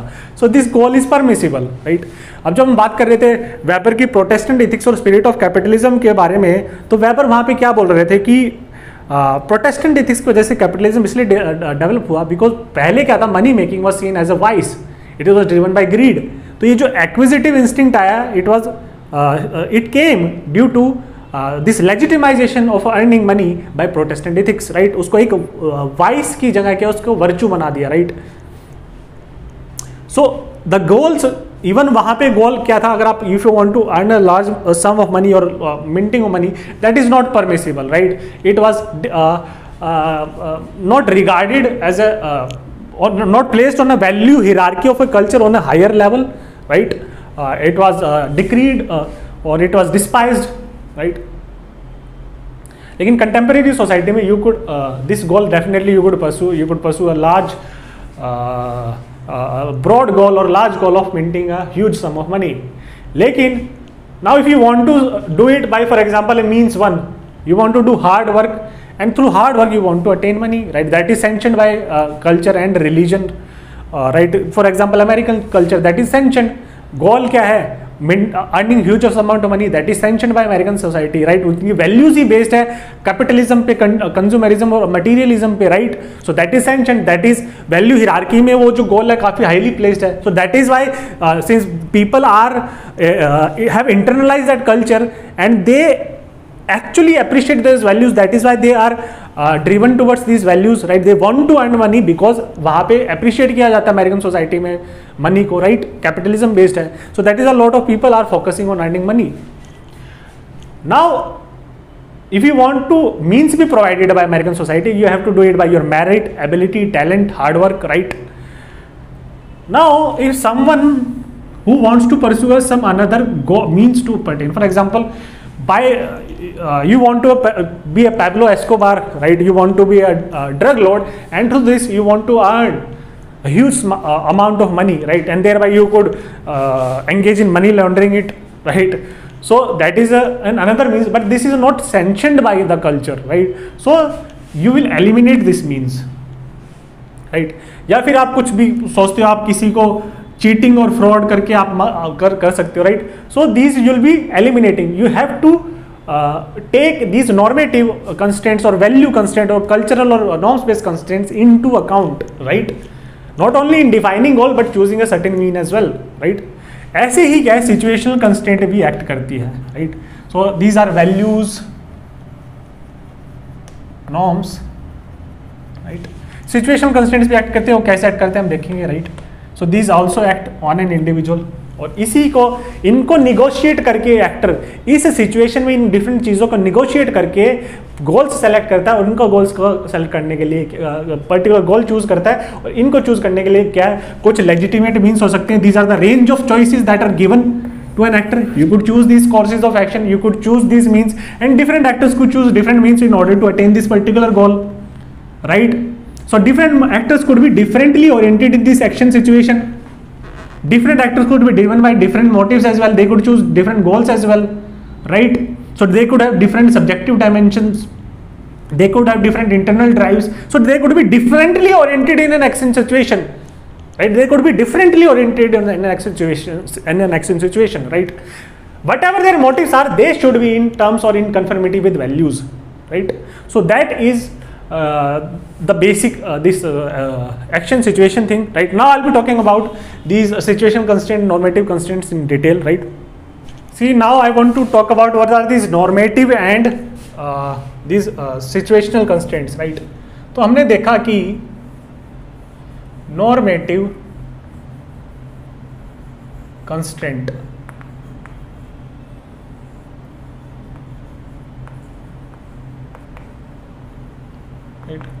So these normative constraints they act on an individual.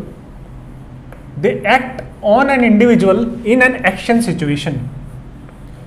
They act on an individual in an action situation. And the actor has to negotiate.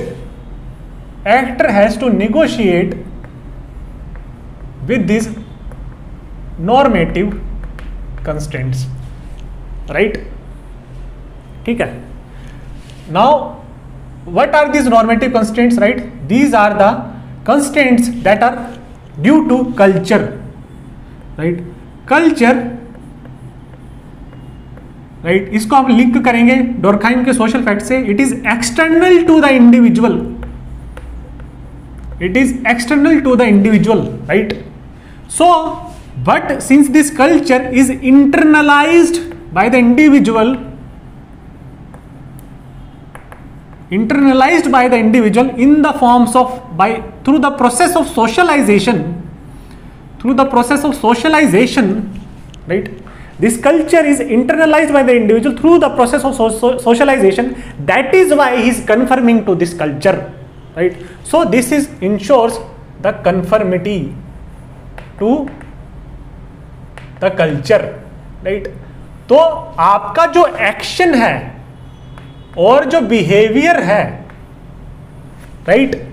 It means कि basically action situation में क्या है? You are oriented by culture in a particular manner मतलब आप जो goal से select करोगे, right?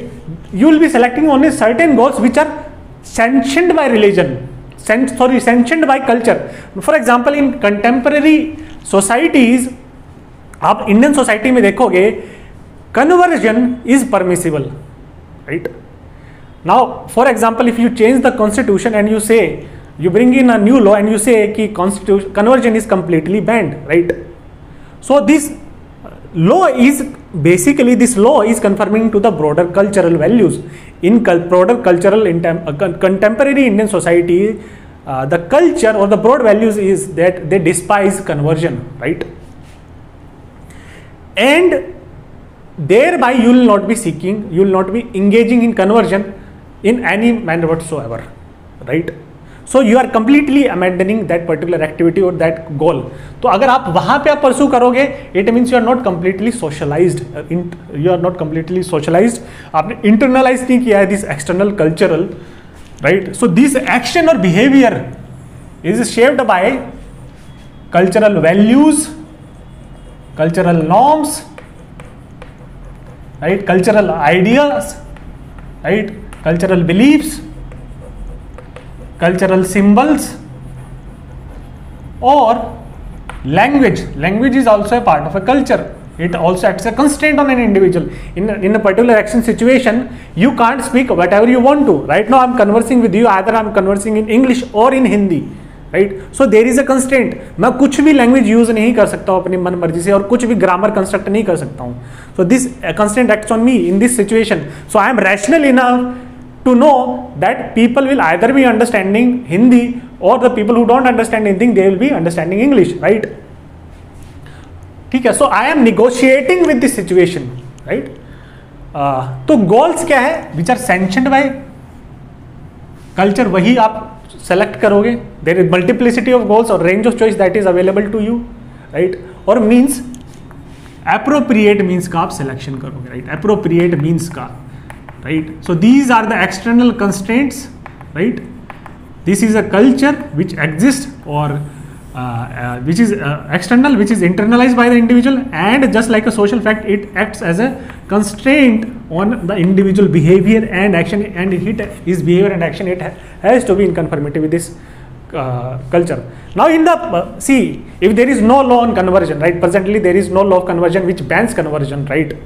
Uh, so you could seek uh, your uh, conversion as a goal converting a particular community in another community as a goal which is permissible but the means that you will be choosing they are defined in the contemporary indian society right आप preach कर सकते हो profess कर सकते हो propagate करते हो अपने रिलीजन को और आप दूसरों के माइंड और आइडियाज़ को इन्फ्लुएंस कर सकते हो and you can uh, persuade them to choose a particular religion right but that has to be their choice it should be there should be voluntariness on their part right there is right to religion right आप incite करके पैसों से right right? या violence के basis पे आप conversion नहीं कर सकते। These means are forbidden in Indian contemporary Indian political system और Indian society right so normative constants मतलब कल्चरल वैल्यूज़ नॉर्म्स आइडियाज़ इनके बेसिस पे क्या है? एक्टर एक्ट करेगा इन्हीं को के साथ निगोशिएट करके बिहेवियर को पोर्ट्रे uh, करेगा। Now another is situational constraint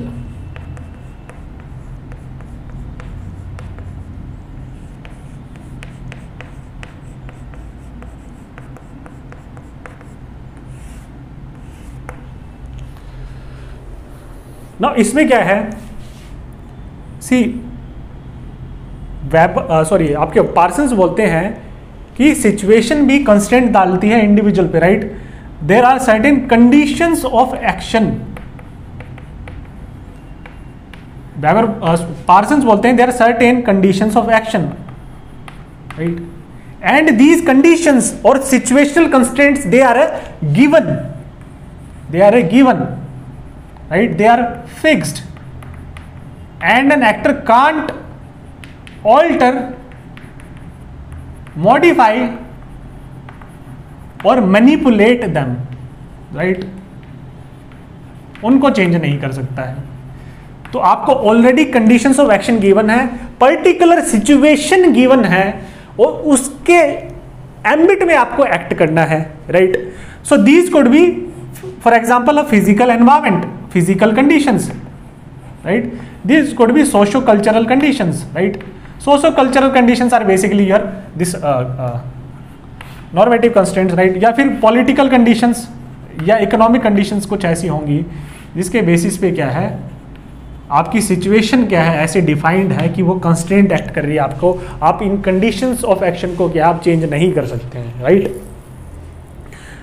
ना इसका क्या मतलब है? ये कंस्टेंट एक्ट कर रहा है और इसको आप जानते हो these are you are aware you are rational actor you are aware of this constants right you are a rational actor and you are aware of this constants so you will be choosing your goals and means as per this situation constants right अब इसका मतलब क्या है? See this is the basic language use now I try to explain it with the help of certain examples right now there was this uh, aspirant i was talking to and conversing with right? Uh, she's a girl right? And her uh, goal or dream is upsc right? So her her situation is that ki there is a certain goal which she, she is pursuing as per certain means right? To crack upsc to secure a rank in upsc right? Now this is an action situation and she is an actor. now but there are some situational constraints right what are the, these situational constraints right ये situation में जो actor है ये already fixed है right now the situational constraints are that कि her parents has given an ultimatum right they have defined the situation they have given an ultimatum right so we could say it is a socio cultural in nature right it is these situations are on the basis of gender right she is a girl boys के साथ ऐसा ज़्यादातर होता नहीं है। uh, कि they have given an ultimatum at max you could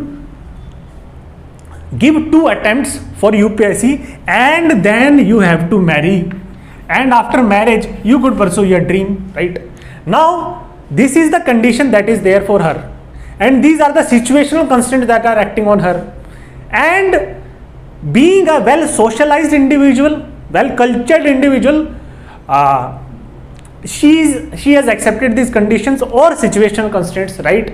कि I have to crack UPSC in first two attempts otherwise I'll have to get married and then after marriage I, I could pursue UPSC right? Now these are situational constraints. She cannot alter or modify it. Another thing that I'll be talking about is uh, let's say कि there is an another aspirant who is poor right? And his dream is to pursue upsc but yahan even though if for example let us say it he has fixed this goal of pursuing upsc right? It is within his choice or autonomy or ambit right? That he is pursuing upsc no matter what's uh, the uh, result will be right? But his limits or his uh, means are constrained right? for example he could not come to delhi it, it would be very expensive he could not join an expensive coaching he has to rely on youtube or telegram lectures right he could not uh, purchase these expensive test series right तो उसकी situation is defined उस पर constant है and being a rational actor he will be navigating through these constraints right he will be accepting this constraint as a given so certain means will be eliminated due to these constraints and we, we will have only certain means to achieve or pursue this goal right so these are the situational constraints whereas on a rich person uh, these constraints might, might not be acting there might be it might be a condition that in his the person of uh, in, in the uh, case of rich person उसका कुछ अलग situational constant हो right this is a situational constraint ठीक है so these are the situational constant that are given now जो आपने उसमें example जो दिया था उसमें आप बोल सकते हो कि there could be these situation constant right plus this could be on the basis of biology as well right this could be on the basis of biology as well right for example a disabled person एक disabled person है right right? मान लो उसको बनवाना है अपना ration card right now this is is goal is trying to to get ration ration card for him now see first उसका constant क्या है? सी आप जिस सिचुएशन में a normal person is placed it is completely different from the situation in which this disabled person is placed, right? For example, उसको क्या है? Transport के साथ नेगोशिएट करना पड़ेगा and transport is not disabled friendly he has to move go from a place a to place b right? Then then he has to deal with the various government offices. He has to run from pillar to post. And if that building is not uh, uh, that infrastructure of the building is not disabled fr friendly then there are these situational constraints that are acting on him right? So these are situational constraints. And he will be navigating this constants in a different manner तो इसका जो orientation है situation में और एक normal person का orientation these are completely different even though they're choosing a specific goal right? So, different people can have different orientation in in the similar action situation. And that is how not not to situation constant but also different motives की वजह से भी हो सकता है and that is what I was talking about when I was talking about the subjective dimension that is there then actor is a conscious man right and he has different meanings and motives now different motives would lead in different goals and different orientation in an action situation right but these are shaped by values right ठीक है तो यहाँ से हम देख सकते हैं Parsons बोलते हैं कि they are conditions of action right so they are conditions of action right you can not alter it modify it और manipulate it you can not alter it modify it और मैनिपुलेट इट एंड देर आज there is another that is means of action and actor can modify this means manipulate this means तो यहाँ पर actor की agency काम करती है कौन से मीन्स को वहाँ पर वो निगोशिएट कर सकता है right there is has certain choice he freedom कि वो उनको निगोशिएट कर सकता है और मैनिपुलेट कर सकता है उनके साथ कि कौन सा चूज़ करना कौन सा नहीं करना। And he could alter these means as well right तो यहाँ पे the actor could be creative लेकिन यहाँ पे क्या सिचुएशन को सिचुएशन कंस्टेंट्स और कंडीशन ऑफ़ एक्शन को क्या है एक्टर चेंज नहीं कर सकता है right right? so this is another thing that i uh, wanted to talk about right? So this was the third point right? Fourth point right?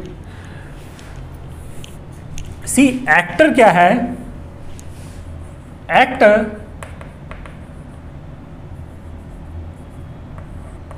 actor in an action situation right actor in an action situation has to negotiate हैज़ to negotiate with physical objects.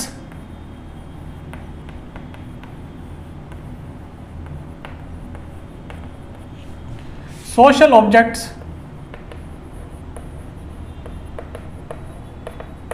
And cultural objects. इस line का क्या मतलब है? See here is an actor here is an actor right actor क्या है? मैंने आपको बताया था actor is a subject right right even if an I am an actor अगर आप फिलोसफी में देखोगे the consciousness that is the subject everything that is external to it is object right I talked about subject and object right so this actor we consider it has consider him has subject right so he is place in an action situation right हम action situation देखते हैं he is placed in an action situation right इस action situation में उसको क्या है? He has to negotiate और deal with physical social and cultural objects right so object is something right which is external to actor right physical object right object मतलब this is the subject and object is something which is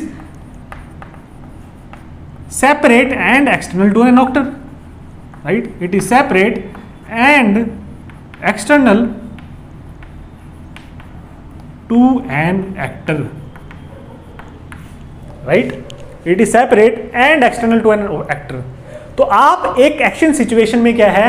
Parsons बोलते हैं, वो उसको divide करते हैं कि subject is dealing with physical social and cultural subjects अगर आपको इनविसाइज करना है एक्शन सिचुएशन में तो आपको ये देखना पड़ेगा you are placed in an action situation और ये एक्शन सिचुएशन में आप क्या है, जो आपका जो एनवायरमेंट है, जो एक्सटर्नल एनवायरमेंट में, उसमें आप क्या है, इस एक्टर इस एक्शन सिचुएशन में आप फ़िज़िकल सोशल और कल्चरल ऑब्जेक्ट के साथ डील कर रहे हो.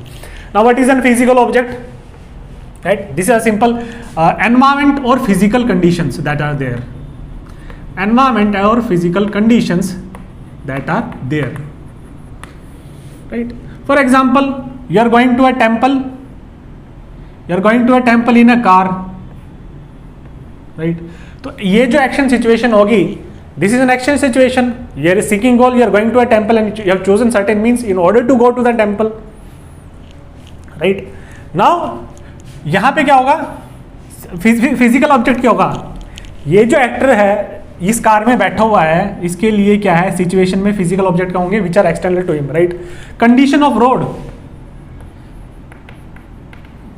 right this is a physical object it is external to him this physical condition right these are physical objects road की कंडीशन कैसी है? अच्छी है, बुरी है राइट right? क्योंकि उसको उसमें के थ्रू नेविगेट करना पड़ेगा right in he is place in that situation he has to navigate on that road अगर अच्छी है तो it would be better for him बुरी है then he has to navigate through the road carefully right straightforward road है या फिर dangerous hills है, ठीक है? ऐसे ही रेन हो रही है या नहीं हो रही है right this could be these are external physical condition these are physical objects right so rain is a physical object in that situation अगर हैवी टोरेंशियल रेन्स है then it will be very difficult for him to navigate right similarly type of car car में AC है या नहीं है?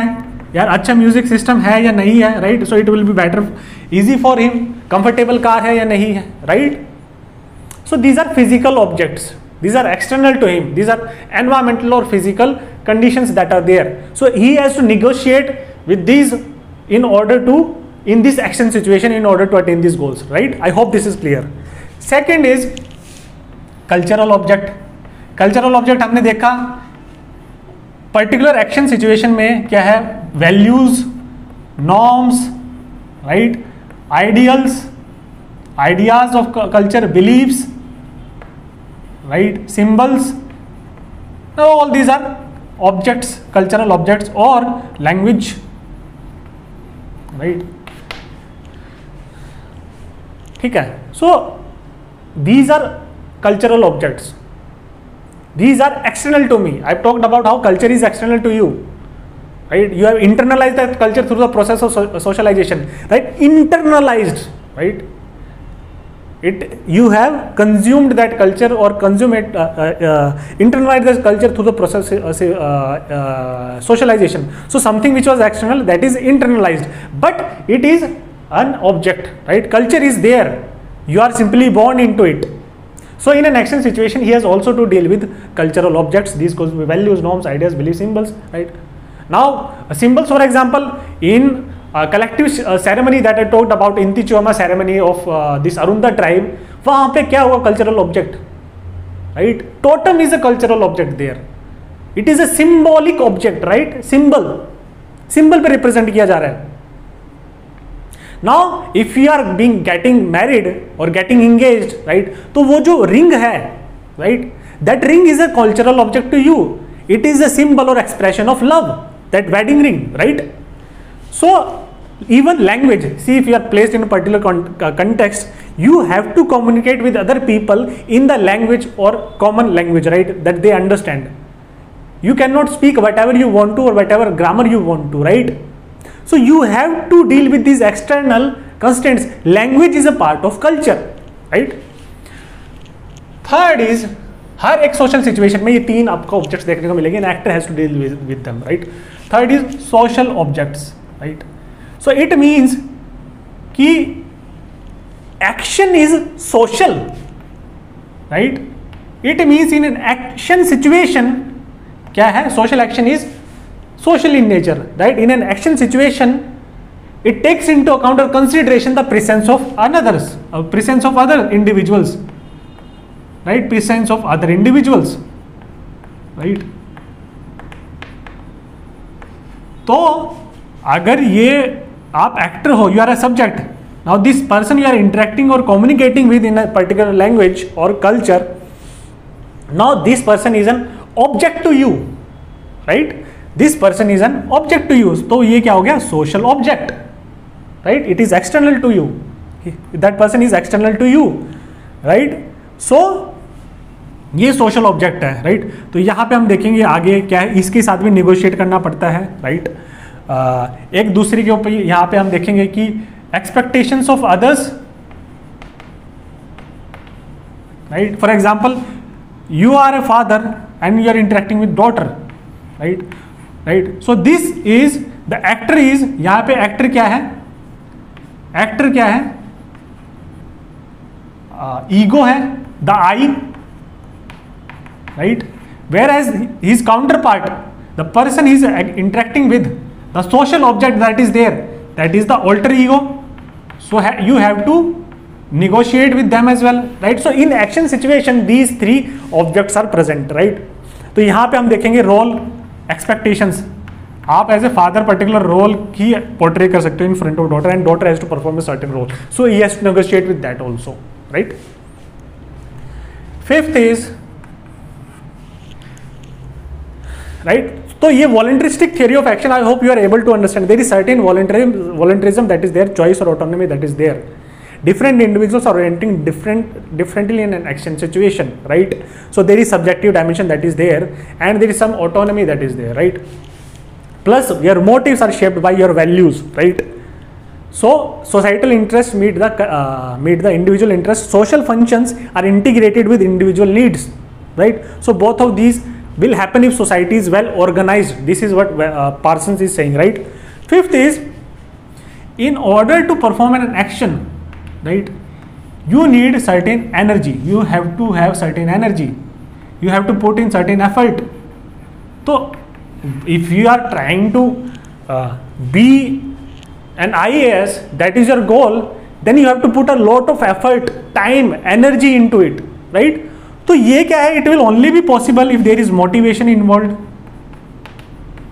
right so this action that is you are aligning yourself orienting yourself in a to in an action situation and you are trying to seek or attain a particular goal and that is why you are uh, you require energy you require effort in order to attain that goal you have to put in uh, energy and effort in order to attain this goal now this energy will come from where there has to be certain kind of motivations that are there right ठीक है तो motives होने चाहिए right desires आपकी कुछ drives होनी चाहिए individuals की कुछ नीड्स होनी चाहिए राइट कुछ मोटिव्स होने चाहिए right see I am using this terms crudely इनका एग्जैक्ट डिफरेंस मैं क्लियर करूँगा मैं when I further cover this topic right there is a difference between needs and drives right so ये होने चाहिए। इसको क्या बोला? पैरेटो ने क्या बोला इनको? Right this is what was, was talking about कि has certain uh, internal drives biological drives certain internal uh, motives that are there certain needs that he want to fulfill right so these due to these drives needs and motives a person is being motivated and that is यहाँ से energy आती है and that is why you are pursuing a certain goal right that is why you are uh, involved in an action situation right ठीक है तो Pareto भी बोलते हैं इनको बोलते हैं residues right these mode these needs और desires the drives that are there और वो बोलते हैं these are based on instincts and sentiments right some people are driven more by money the instinct of earning more and more money so earning money instinct that is there that is his drive that is his need that is his biggest motivation. So he'll be putting in lot of energy and effort in order to uh, earn more and money. He will become an entrepreneur right? Some people have certain residues of power so they will uh, incline toward politics or joining bureaucracy. That is why you are pursuing upsc one of the biggest motivation is the status power prestige and honor that and uh, the, the job uh, holds in a society right this is the biggest motivator and that is the first motivator for this uh, for this thing right ठीक है now see I want to give you an example Raghav Chadda right now he is a member of आम आदमी party तो इसमें मैं एक interview देख रहा था राघव चड्डा का और वो इंटरव्यू को बोल रहा था कि हम इतनी बड़ी बड़ी जॉब छोड़ के आ रहे हैं लोगों की सर्विस करने के लिए राइट सो uh, तो basically what is trying to say कि वहाँ पे जो उसकी ड्राइव थी towards money right because he was earning a lot as a C A मतलब this is what he told that particular journalist right that is lower where at the drive अब वो he was portraying अब whether it is true और not that is only he can know right तो whether he was driven by the need और drive of servicing others और the need of drive of power because through politics you can attain power right तो politicians mostly क्या है? वो ऐसे uh, अपने words को चूज़ करते हैं they have to give justification and they always use कि we are here to serve people right basically politics is all about power right ठीक है?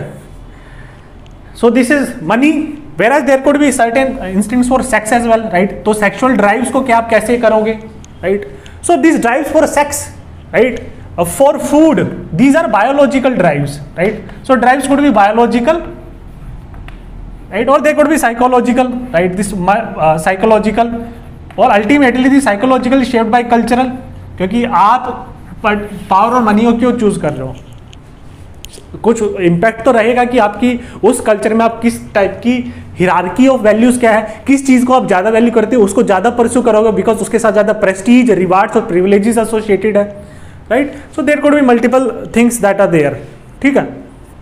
तो ये बोल रहे हैं कि wise action manifested because of this energy and and effort motivation आपको लगे आना पड़ेगा right so people could be driven by different things right और यहाँ पे आपने देखा होगा काफ़ी जो एस्पिरेंट्स uh, हैं they leave their well paying jobs right they are earning a lot and then they leave their well well paying jobs because जो उनका इंस्टिंक्ट और सेंटिमेंट था जो इंटरनल बायोलॉजिकल ड्राइव था राइट right? वो क्या था? it is it was less for money and it was more for power. Or you could say, or you could say service but ultimately i'll come to power. This is the first thing. People right that is a more of a you could say ki answer that is reserved for interview that you want to uh, be an is because you want to serve others. See the first thing is either money or power. Money is not there if you involved in corruption that's a different thing but the power status prestige or honor is there with that particular job so either you being a politician, a successful politician, or you crack the UPSC civil services examination in order to attain power, right? So so, यहाँ पे से motivation energy effort होता है right? तो food food भी है आपकी mother see your body need energy your body क्या है it craves from energy food food is basically nutrients right which provides energy तो फ़ूड के थ्रू न्यूट्रिएंट्स क्या है? वो कर रहे हो। तो इसलिए your mother goes to the market in order to buy vegetables right so this is the basic voluntaristic theory of action right अभी क्या है हमने this is the first part हमने ये देख लिया कि what is how he conceives action situation what is the voluntaristic theory of action different objects that are there what are normative and situational constants right what are the various parameters that are there? In an action situation, how is synthesizing utilitarianism, uh, positivism and idealism and we also dealt with the basic framework, right. In next lecture, I'll be continuing with the second part of this theory, right. यहाँ पे हम types of motives की बात करेंगे, right. Types of action की बात करेंगे types of values की बात करेंगे हम डिफरेंशिएट करेंगे again social system social structure और uh, आप क्या क्या कहते हैं सोशल इंस्टीट्यूशंस के और unit act see this is a unit act this is a unit act that I am talking about unit act देखेंगे क्या होगा right so our theory will be concluded the structure of social action will be concluded in the next lecture